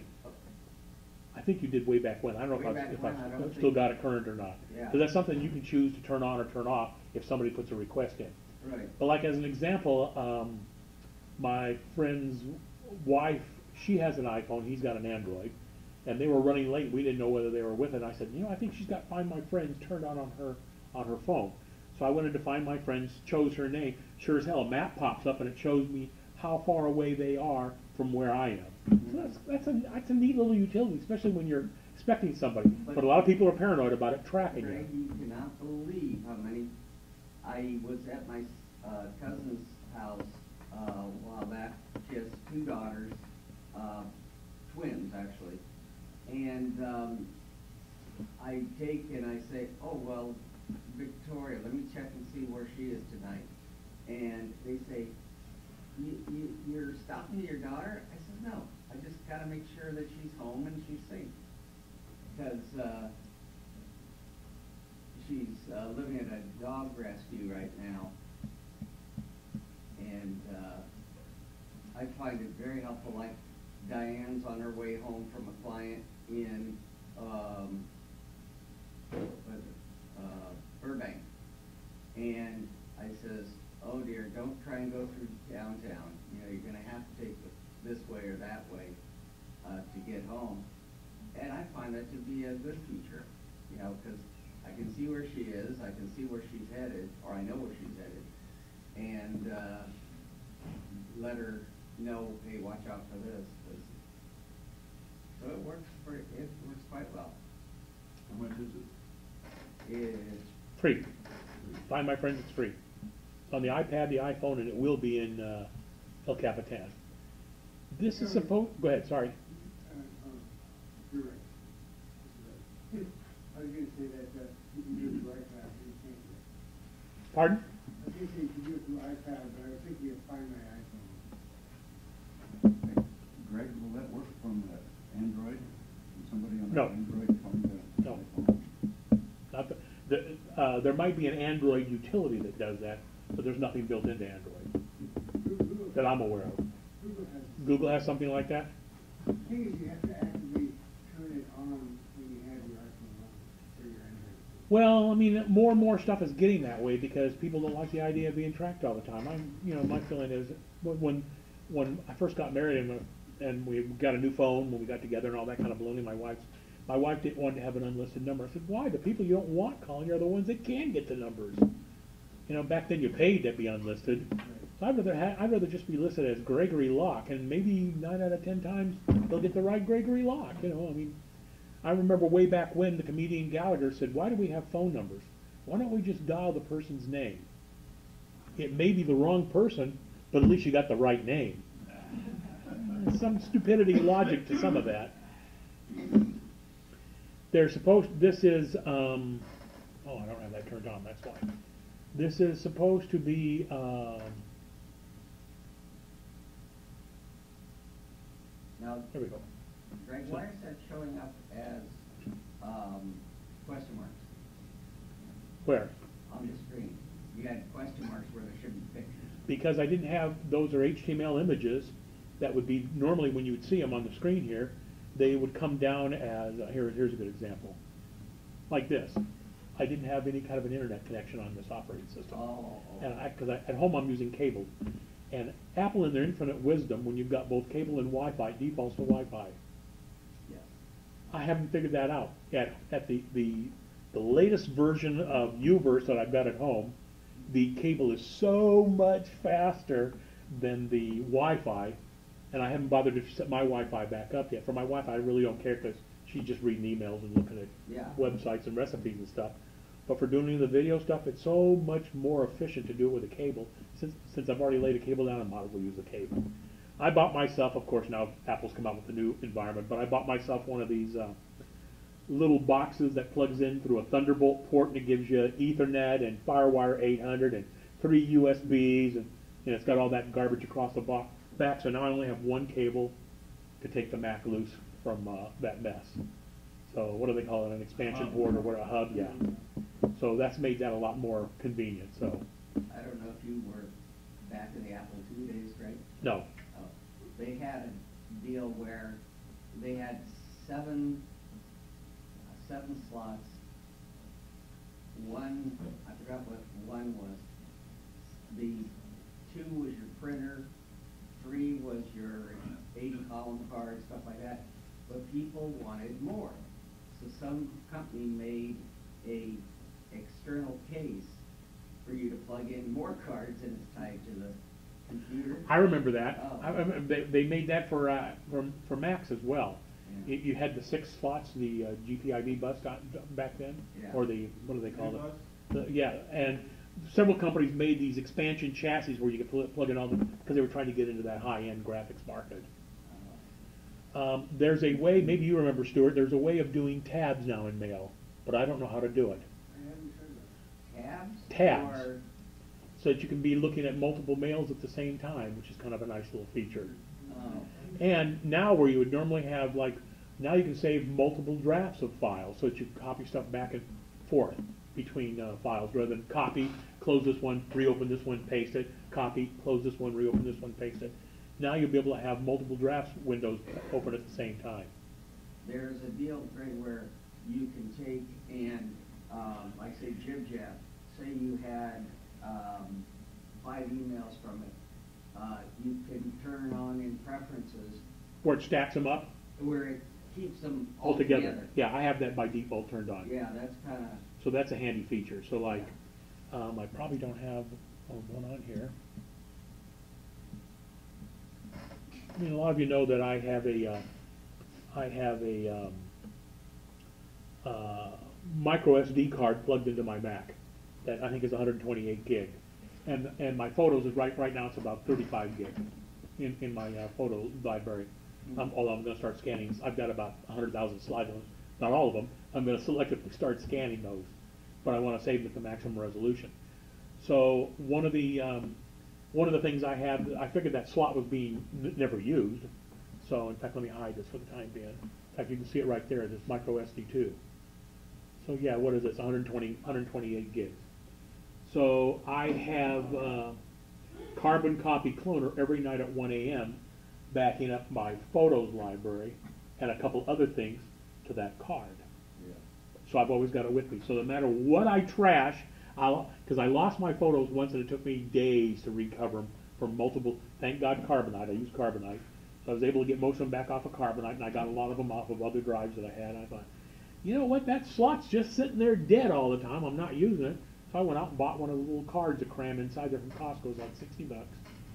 And uh, every night at 1 p.m. or 1 a.m., Carbon Copy Cloner. That's why you see the CCC safety net thing there. Uh, backs up that and a few other things onto that built-in onto that uh, plugged-in card right there. oh, one of those. Yep. So I've always got a backup copy with me, no matter what. So.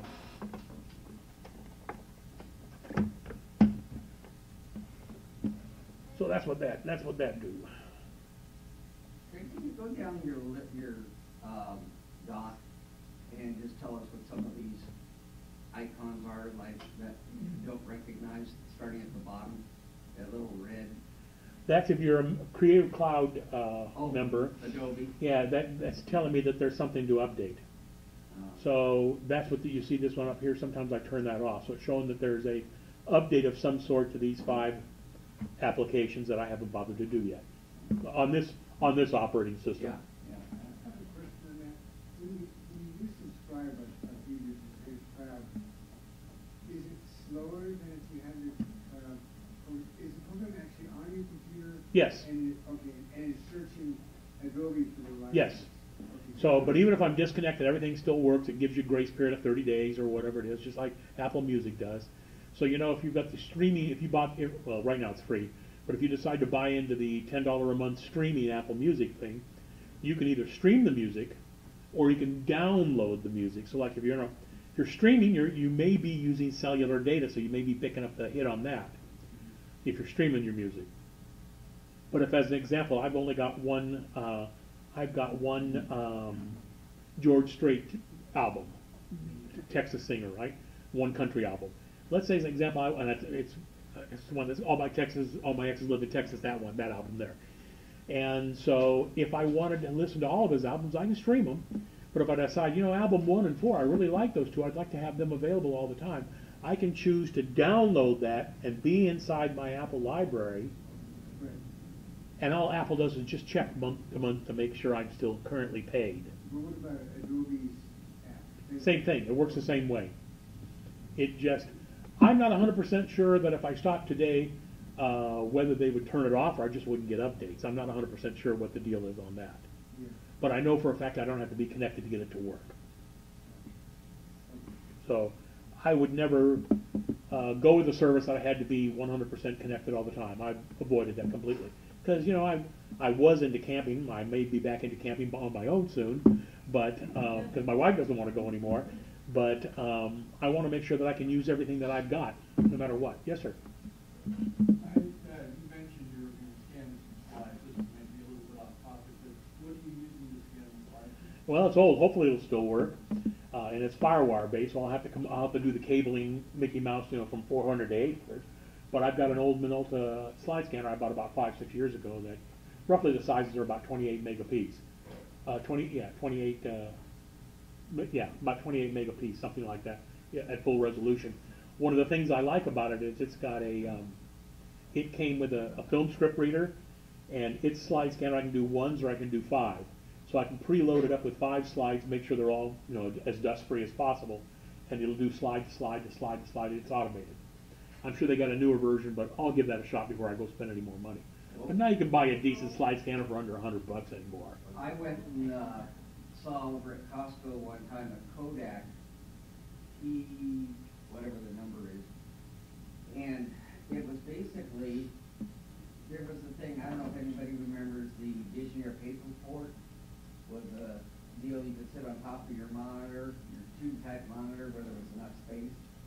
And you could take a piece of paper and feed it in eight and a half by eleven, and it would run it through and scan it and bring it out. And that thing was fantastic. I bought one for each of us in the house. And, uh, then they went away or, uh, you know, they stopped supporting the software. But this Kodak thing was eighty-nine dollars and it would scan a full piece of paper in color. Or you can take and there's a little, little fixture that you go to the left side and you plug it in switches it over to, uh, going from positive to negatives to convert them, import them as positives to your, um, to a folder, and then you've got to migrate them into iPhoto. But, um, the thing works really slick, and I don't know about the, the resolutions on it and stuff, but, uh, heck, I just wanna clear out all my old stuff, you know, that I've got on, on, uh, uh, negatives. And, um, now I found some slides and it's like, I just, you know, you, it's the old deal that when you were young, you want to collect everything, you wanna have everything. And now as you get older, it's like, I don't, I don't want this, it's too much stuff, you know, and boxes and boxes of negatives. Like, get rid of it. But that, that little scanner is really nice, and I've seen it come out under different names, uh, under different companies, but it's really, really slick. Well, I mean, I've talked to p- people about this before that um, I no longer print anything. I mean, I do all, we do 99% of our banking through the web, Yeah, through B of A, A- and um, whenever I pay a bill, I'm just paranoid enough to, to I never write the confirmation number down. So I'm paranoid enough to know that I, because I've had a fight with them a couple of times with a couple of people that they have to send the bill to them because these people don't have any kind of electronic system set up. Mhm. Uh, RV storage is an example. And so I've just gotten in the habit um, to print everything, but I'll save it as a PDF. And so it'll be um, Amex, space space, the dollar amount in the file name, space space, and my six-digit date coding, which Corky hates, my six-digit date coding. And the only reason that I do it that way, and I'll show you exactly.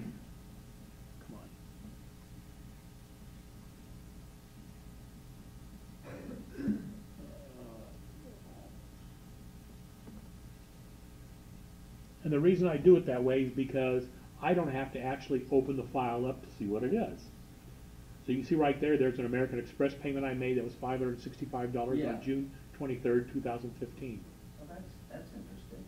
I. I've just gotten in the habit of naming these things this way, so that I Um, can read the file name, and I can sort all the American Express stuff if I just click on name. Right. I can sort them all, and I can see what I paid at what month, and I never have to open the damn PDF. I can. I can always hit the space bar and go look at it if I want to. Oh, that, that's But clever. to me, this is a lot simpler than printing crap and keeping rec- paper records. Plus, it's searchable.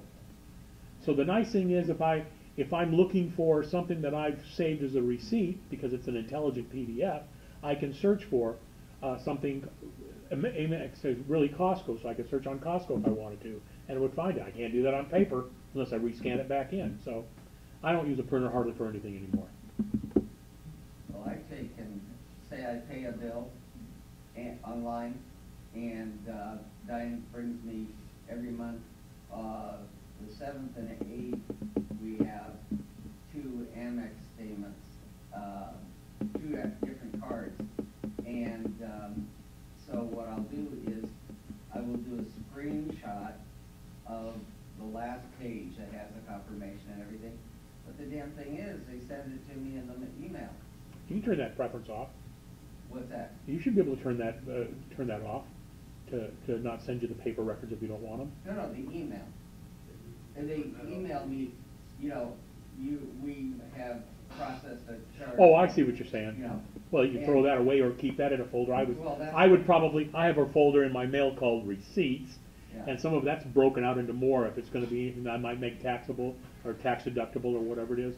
And in the receipts category, there's subscriptions and books, there's iTunes and Amazon, there's, you know, on down the line like that, so. Yeah, but I, I like this better because, see, I do, um, A, AE Blue, AE Costco, and AE Platinum, okay?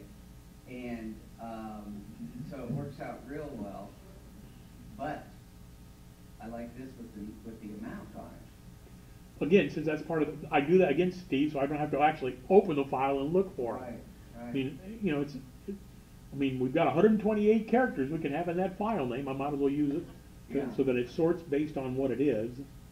And even though it's Costco, I used to put Amex, Costco, most of the time I just put Amex anymore. Well, I. And that'll change soon because Costco's throwing out Amex. Yeah, I, crazy. They obviously can't negotiate a better deal like they have deal. But the thing is, is I do AEC, AEB, and I know what it is. But, um, I like to be able to put the numbers. Yeah, I find that that works real good. And what I should do probably is break, is break it into months and, you know, and, or into years and put the two thousand fourteen and the two, I, who cares? They'll all, they'll all sort you whenever, got I- I got it, what do I care, you know, it's there. Uh, something that ends with 08 or 09, but, uh, But you can see that's why I use that naming convention, because I can see it right away, it's June sixth, or it's June the twelfth, two thousand nine. yeah. That's easier, for I've gotten used to reading it that way, so I do it that way. But whatever works for you, that's what counts. Where's uh, wait, you can do all these things we're talking about? I'm sorry, say that again? With Quicken, Yeah, but I don't use Quicken. I have in the past, and it's a fine program, but I don't find myself, What is this in it? What program is that? well, it's, I go to B of A's website for their online banking, and one of the options is after you've made the transaction, they give you a confirmation number there. I click on their option to print it, because they have an option built right in to print it. So when it brings up the print dialog box, I go over here to print this PDF, and then that brings up the dialog box, where do I wanna save it? Well, I've got a folder called bill page, you know, cause that's what app, that's what Bank of America calls it. So it almost always remembers I was in bill pay, so I just change the name. I've already had the amount copied or pasted in or whatever, select that, paste it and put in today's date. The date that I pay it, doesn't mean the date gets, it actually gets transferred, but that's the date the paperwork was generated from my side, so. I find that that dumb, old pack method works pretty good for me. And I don't have to print a lot of extra, I got a as you can tell by the pictures of my house, I got enough junk laying around, so. So anyway, mail is supposed to, do I still have that open? Mail is supposed to offer better, um, I haven't really been using any of the apps in the full screen mode, and I'll probably force myself to start doing that. Um, cause I'm the old hang around guy from the old days or whatever. Well, Greg, you know, the thing that drives me nuts is I'm with a customer and we're trying to work on something and every time the screen opens all the way, and then I have to go down to the corner and shrink it a bit so I can see the desktop. Yeah. You know, this, this makes it very difficult. Yeah, and, uh, there'll be an advan, there'll be a way to get around that here, let me bring something else up. Oh, I have Creative Cloud open, yeah, that'll work. I think. So, split screen is, split, tab, you can, you can tap between your applications. that's true, which I do that all the time, but this will be brand new. Oops, come on, not wrong. You also read dates in order to, uh, make a calendar event out of it. Now look at this, no available windows, because this is, this is not, not supported yet, so let me get something open that is. I'm sorry, what did you say? I said that, um, it also, in many cases, they do read, uh, dates, you know, um, email coming to you, you know, to make the calendar event out of it. You don't have to bother to create the event. In other words, I'll, I'll send you an email right now. Um,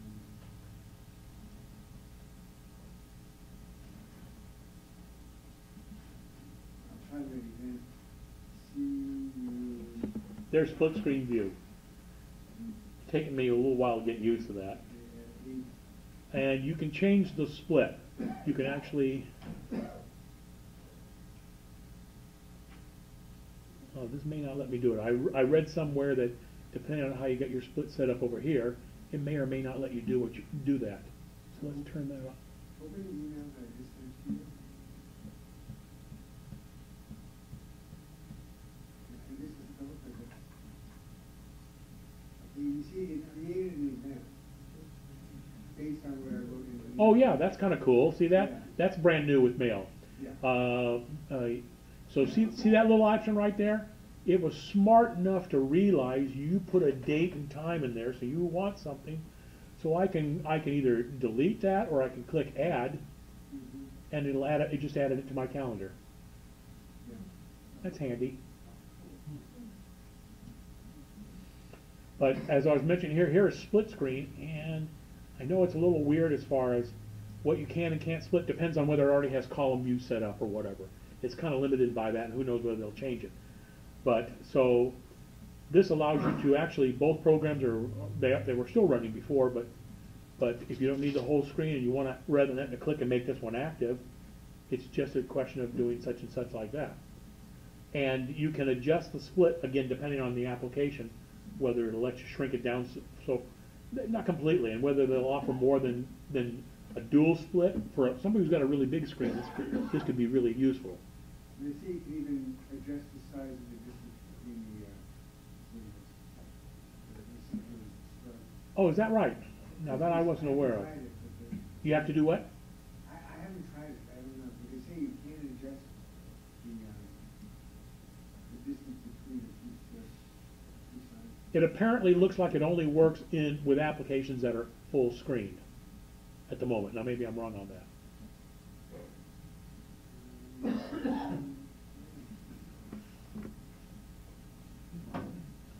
I haven't quite gotten the hang of this yet, so, but I think it's gonna be really useful down the road.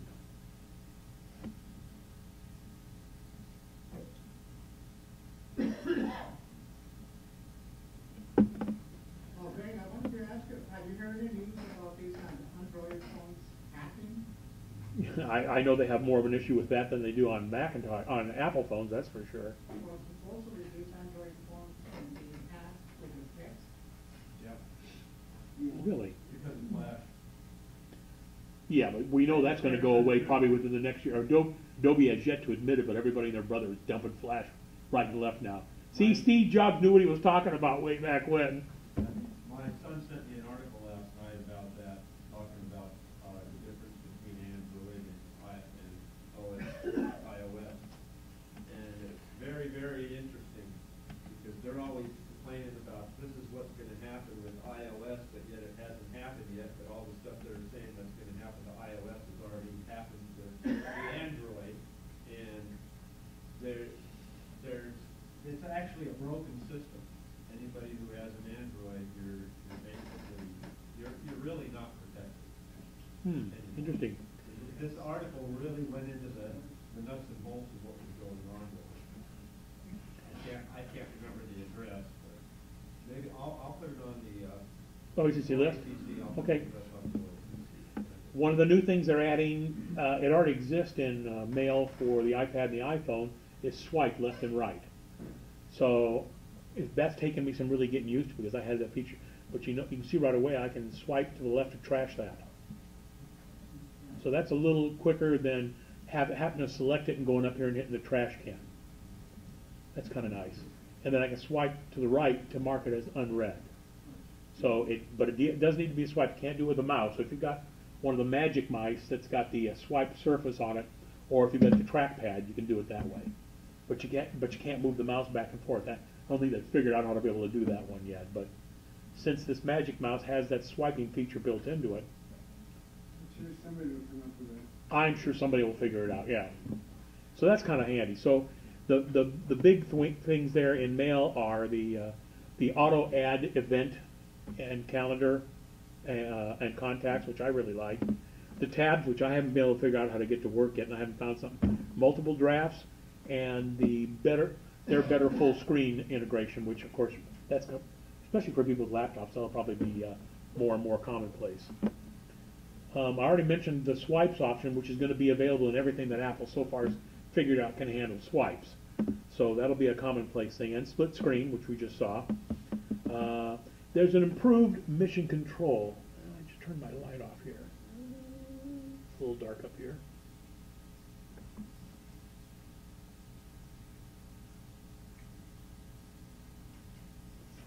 So this is done a little bit better now. Where you had, I never was a person for using uh, spaces. I, I I don't know. It always seemed like a really good idea, and I just, I think I came from the old days where you never had enough memory so that you used a program and you got out of it. So yeah, if I'm working in both Photoshop and Illustrator, chances are I wouldn't have had Mail open and I wouldn't have had iTunes open or whatever. But I got 16 gigs of RAM on here, so it's not like it's a real problem. It's just carryover from my old legacy days of where you didn't have it. Well, now they've got now they've got a lot of options here. Let's open up a couple more things.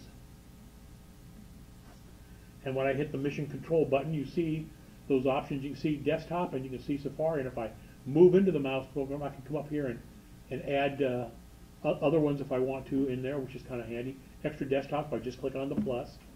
And if I want to make something unique to just a particular desktop, I can, just like so.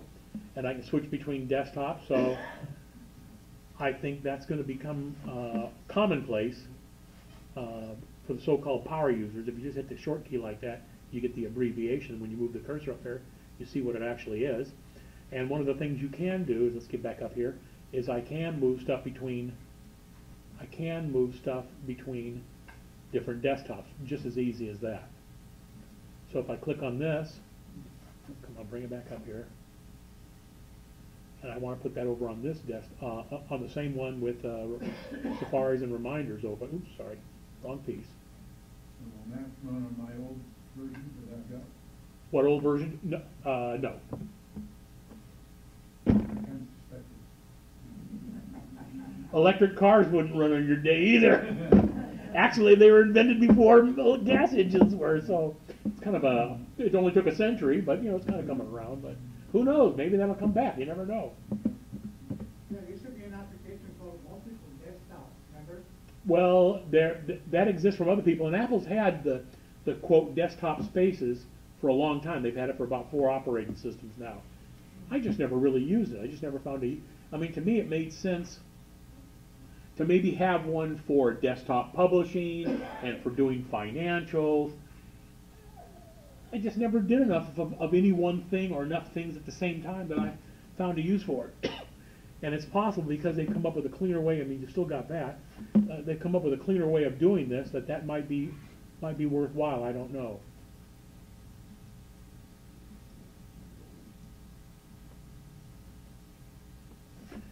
Uh, time will tell whether that becomes practical or not. I don't know for me.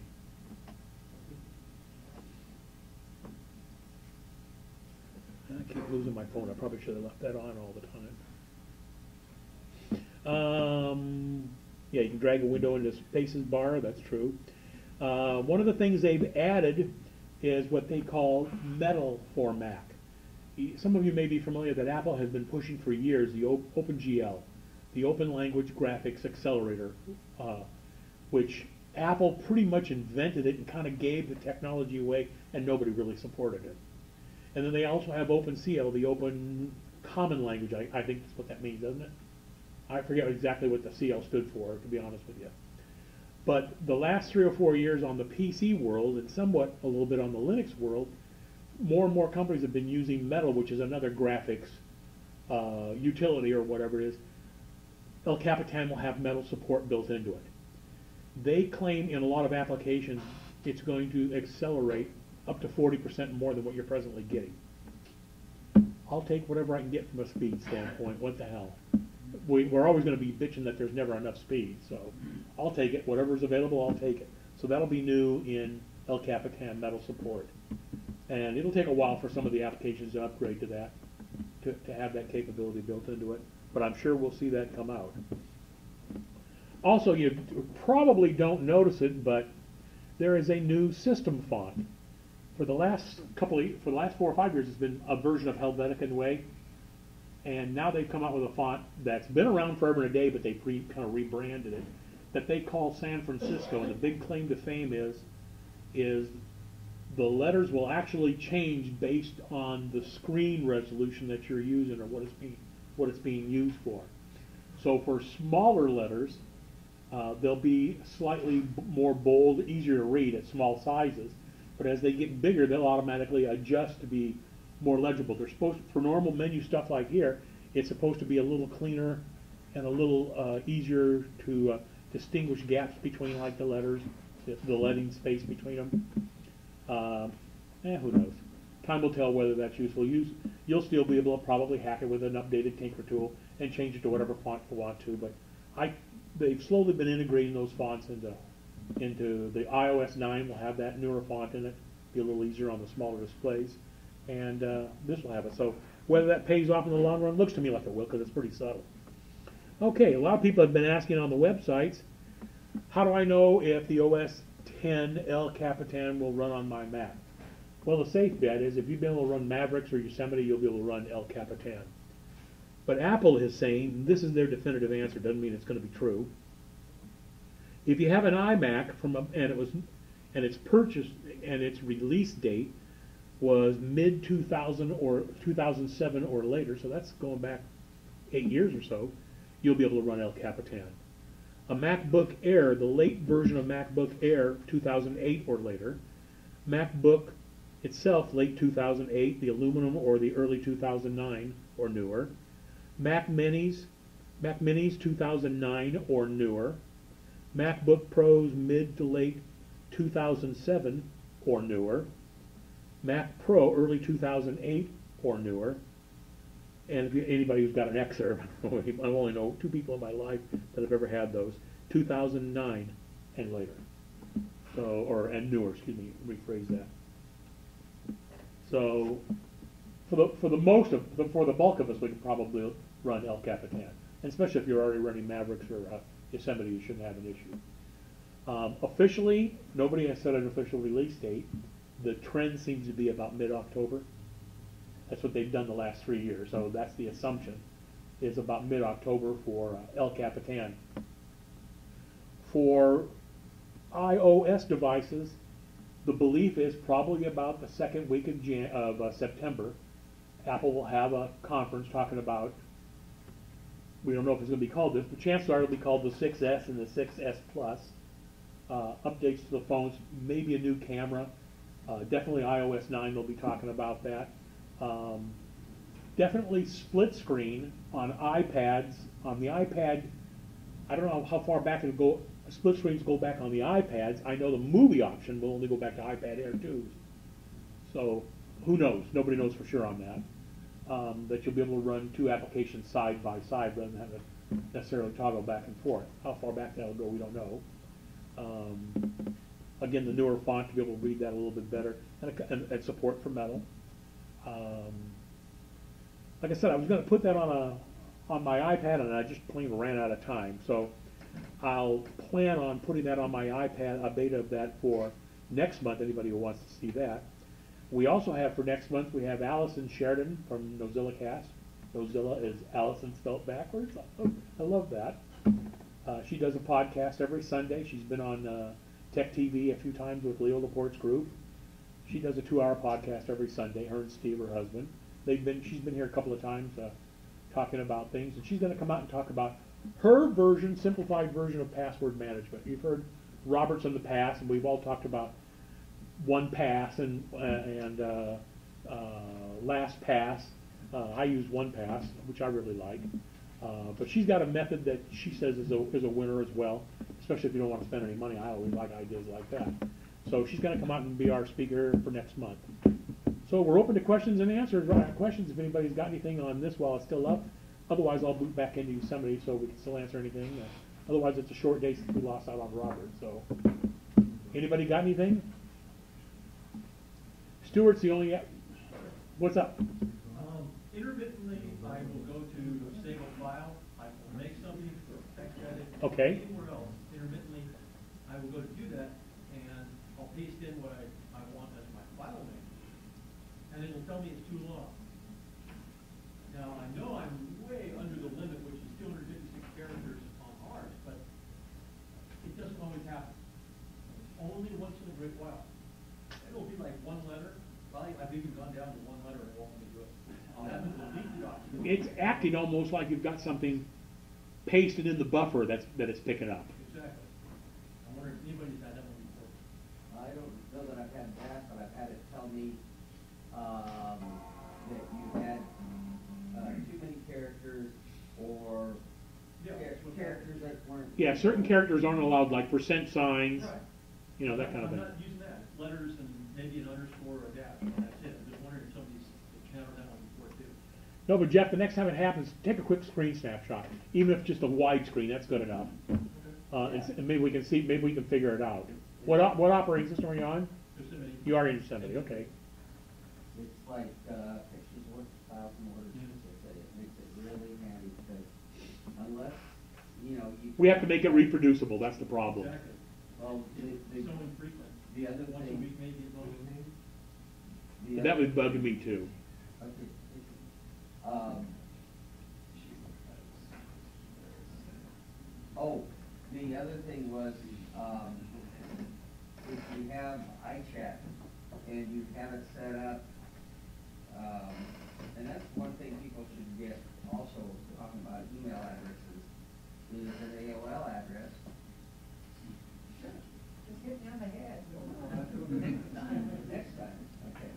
Um, is that AOL, uh, email or, let's see, AOL Instant Messenger, an AIM account or an AIM name, what happens is, is then you can access messages or if you have an older computer, iChat, and have a deal where you let us know and we can put your name or your identity onto our, um, iChat or messages, and we can take control, and you show us right there what's going on. And then, you know, we can control the mouse and do all that stuff. And you, excuse me, you can too. And, uh, it doesn't, you know, you can't do it when you're not there, but it really helps, uh, somebody. You should have. There's three that you should have, as far as I'm concerned. Everybody's got messages. Well, anybody with the last five or six operating systems or whatever's got messages, or iChat, as the old name was. You should also have TeamViewer. It's a free download from Team Viewer. Just do a Google search on TeamViewer, and download the free Mac application. Just have it. It takes up hardly any space. They'll assign you a unique user ID. That's yours from here on in. Um, if we're have, and I'll tell you why we're why I'm, I'm talking about that. TeamViewer also will allow. I don't know whether Steve uses it, but I, I use it a lot for PC and Linux users. Um, will also allow me, if you give me access, it'll give me access to your computer as well. Uh, one of the things that it doesn't support right now that iChat or Messages does is voice at the same time. TeamViewer doesn't, so you almost have to be on a cell phone or whatever. Here's the way it works. If as an example, and I, I, I will choose Messages every time if I can, but Messages requires that the guy who made the connection has a really good uh, bandwidth. It depends on the guy who, he's for all practical purposes the host. In the case of TeamViewer or Skype, they use a central repository. So the data is going there and then going back out. So, and all you do is make the, make the initial connection to it. So once, messages is, is a cleaner, better way to work and you only have to have, like between me and Steve, it's never an issue because we both got enough bandwidth. But some people have older systems or whatever, or it does what they need. They don't need to spend the extra dough to get the extra bandwidth. So with TeamViewer, and it's available for an iPad and iPhone as well, with TeamViewer, the way it would work is let's say you'd call me on the phone and say, Greg, I'm having such and such a problem. You got a few minutes now? Yeah, I'll take a look. If we can't get messages to work, we have a fallback. That's the advantage of it. Eventually Skype will be there. It's not yet. Skype is only for visual and audio communication right now. Um, so with TeamViewer, if you've got a TeamViewer account, you can start up TeamViewer at your end, and every time you start up TeamViewer, your user ID shows on your screen, but, but it, it also assigns you a temporary password uh, for you to give out. So as an example, in case of Steve, if Steve says, I'm having problems, and I say, well, go ahead and start up TeamViewer, because maybe I'm having problems with messages that day or whatever. So I'll start up TeamViewer on my end, and which I don't happen to have it here right now. I'll start up TeamViewer on my end, and you can see there's my there's my uh, user ID, and it's got a password right now for this session. Okay. This partner ID right here, that's whoever the hell that was the last time I connected. I don't bother. I usually clear it because I don't bother to keep them. I don't want to. If I was talking to Steve enough, I'd make one called Steve. But all it would do is save me them six digits, them nine digits to type in. Big deal.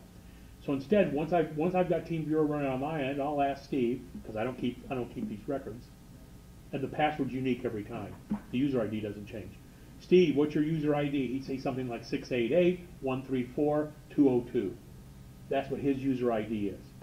Then it'll so I'll go ahead and, and connect to a partner, put in his nine digits. Then he'll ask me for a password, and all over the phone I'll say to Steve, Steve, what's your password for this session? And he'll tell me 6311.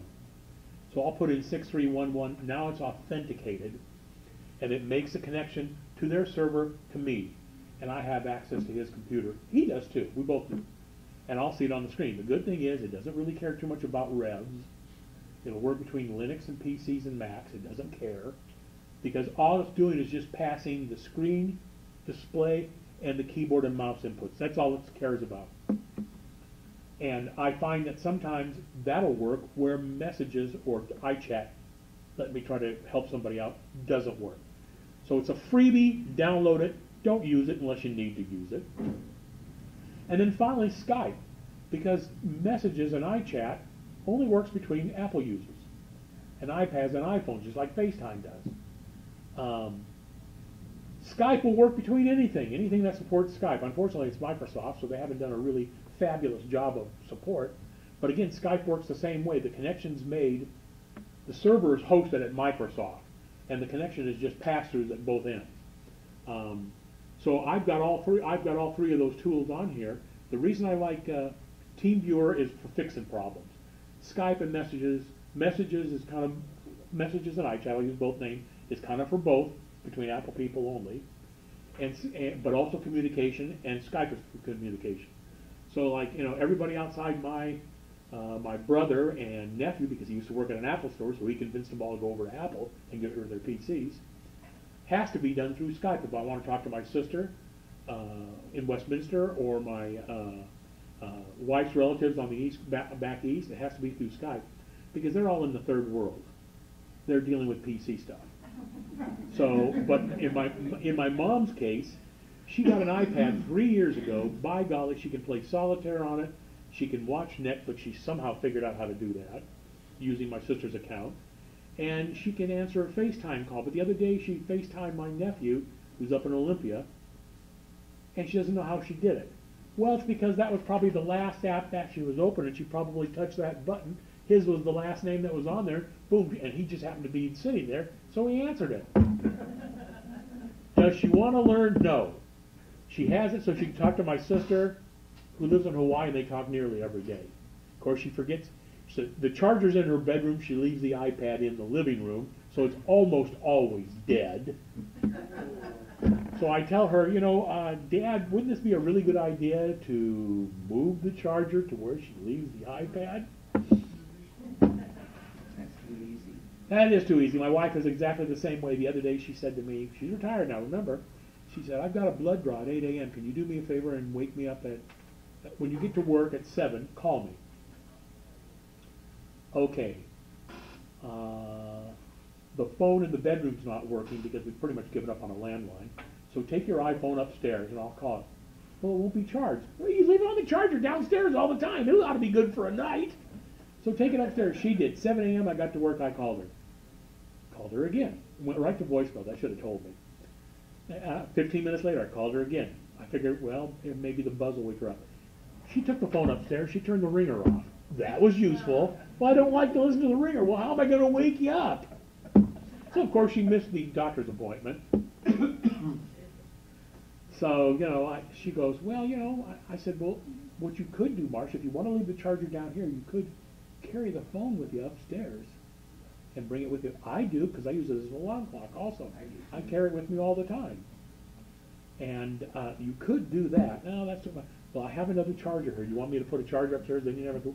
Yeah, but if it's upstairs, then I have to run upstairs to get it. That's why I carry it with me. The joys of uh, family life. Anyway, you should have all three. You should have TeamViewer at the very least. It's a freebie. You should have Skype. That's a freebie. And you should have Messages or iChat. And set an account up on all three if you don't already have that set up. And I would just add with TeamViewer, it's very secure because every time. It's say, unique I- I password every time. Unique password, and that doesn't mean every day, I mean, every time you quit TeamViewer, you have a new password. And I could, if I wanted to, I have to have two pieces of information from you who I'm trying to help out.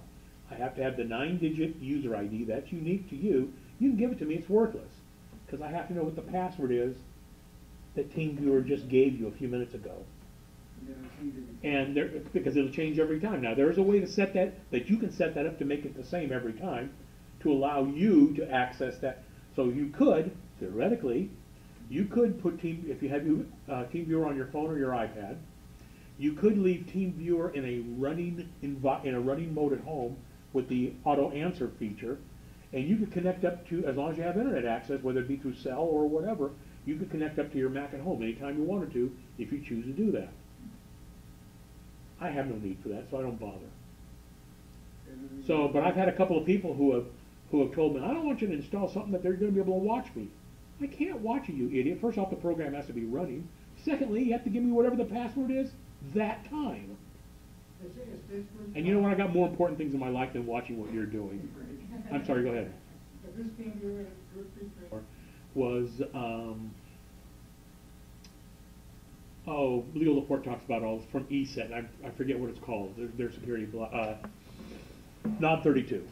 That's, that's the PC name of it, it, uh, Macintosh Nod thirty-two, but it's from ESET, it's seventy bucks a year or whatever it is to subscribe to it. Um, I have mixed feelings about, uh, virus utility. First off, hardly any virus has ever hit a Mac, especially if you use a little due diligence and don't just download everything that you can download. Um, but I've gotten something on there whenever I go into Safari. Whenever I go into Safari, besides MacKeeper, on some websites, um, whenever I go to, let's just pick a generic, uh, yeah, whatever that ought work. Uh, it's a Mac kind of article that may or may not. I would see blue links like this. See right here? The next year? It looks like a link, but it's not. It's something else. But mine were actually underlined blue links, so they look like hyperlinks. And I'd click on one, and it would take me to something that I had had nothing to do with the article. And it was a piece of malware that had somehow gotten into Safari, and it managed. I have Fire, I have uh, uh, uh, Chrome on here, and I also have uh, Firefox. So that I have an alt. You should have it. You should have an, another browser just in case. And um, I would get to where it was. It was showing up on all of them. And ESET was the only one that managed to find it and keep it at bay. And the reason the reason that's even it's not doing any damage, but the reason that's showing up, I'm sure if I click on it, it's going to take me somewhere. Yeah. No big deal. It oh, it's taking me back to the Macworld article, so it's probably a legit link. Um, but it was driving me crazy that I was getting bugged by stuff. Didn't do any damage. It just pissed me off. And so I thought, well, you know what? Um, Adrian, who was still with us at the time before he moved to Texas, had suggested two or three things. Nothing I did. I knew I could probably load everything by hand, not use the data migration system because that would have brought it back over again. I knew I could do everything by hand and redo all the serial numbers and all that kind of crap. I knew I could get that, and I thought, my time, my time sitting on my butt watching television is more valuable than doing junk like this because it means a lot to me anymore, especially as I get getting older. I'm getting to 64 in another month. So, um, hey, hey, I'm old. Well, you're old. You're older. and um, and my wife's older than both of us, so that solves that problem. And um, I just want to come home and chill out, pretty much, you know. So I thought, you know, I'll try Nod 32. It definitely saved my bacon way back when days when I was dealing with PCs at, at Konica Minolta.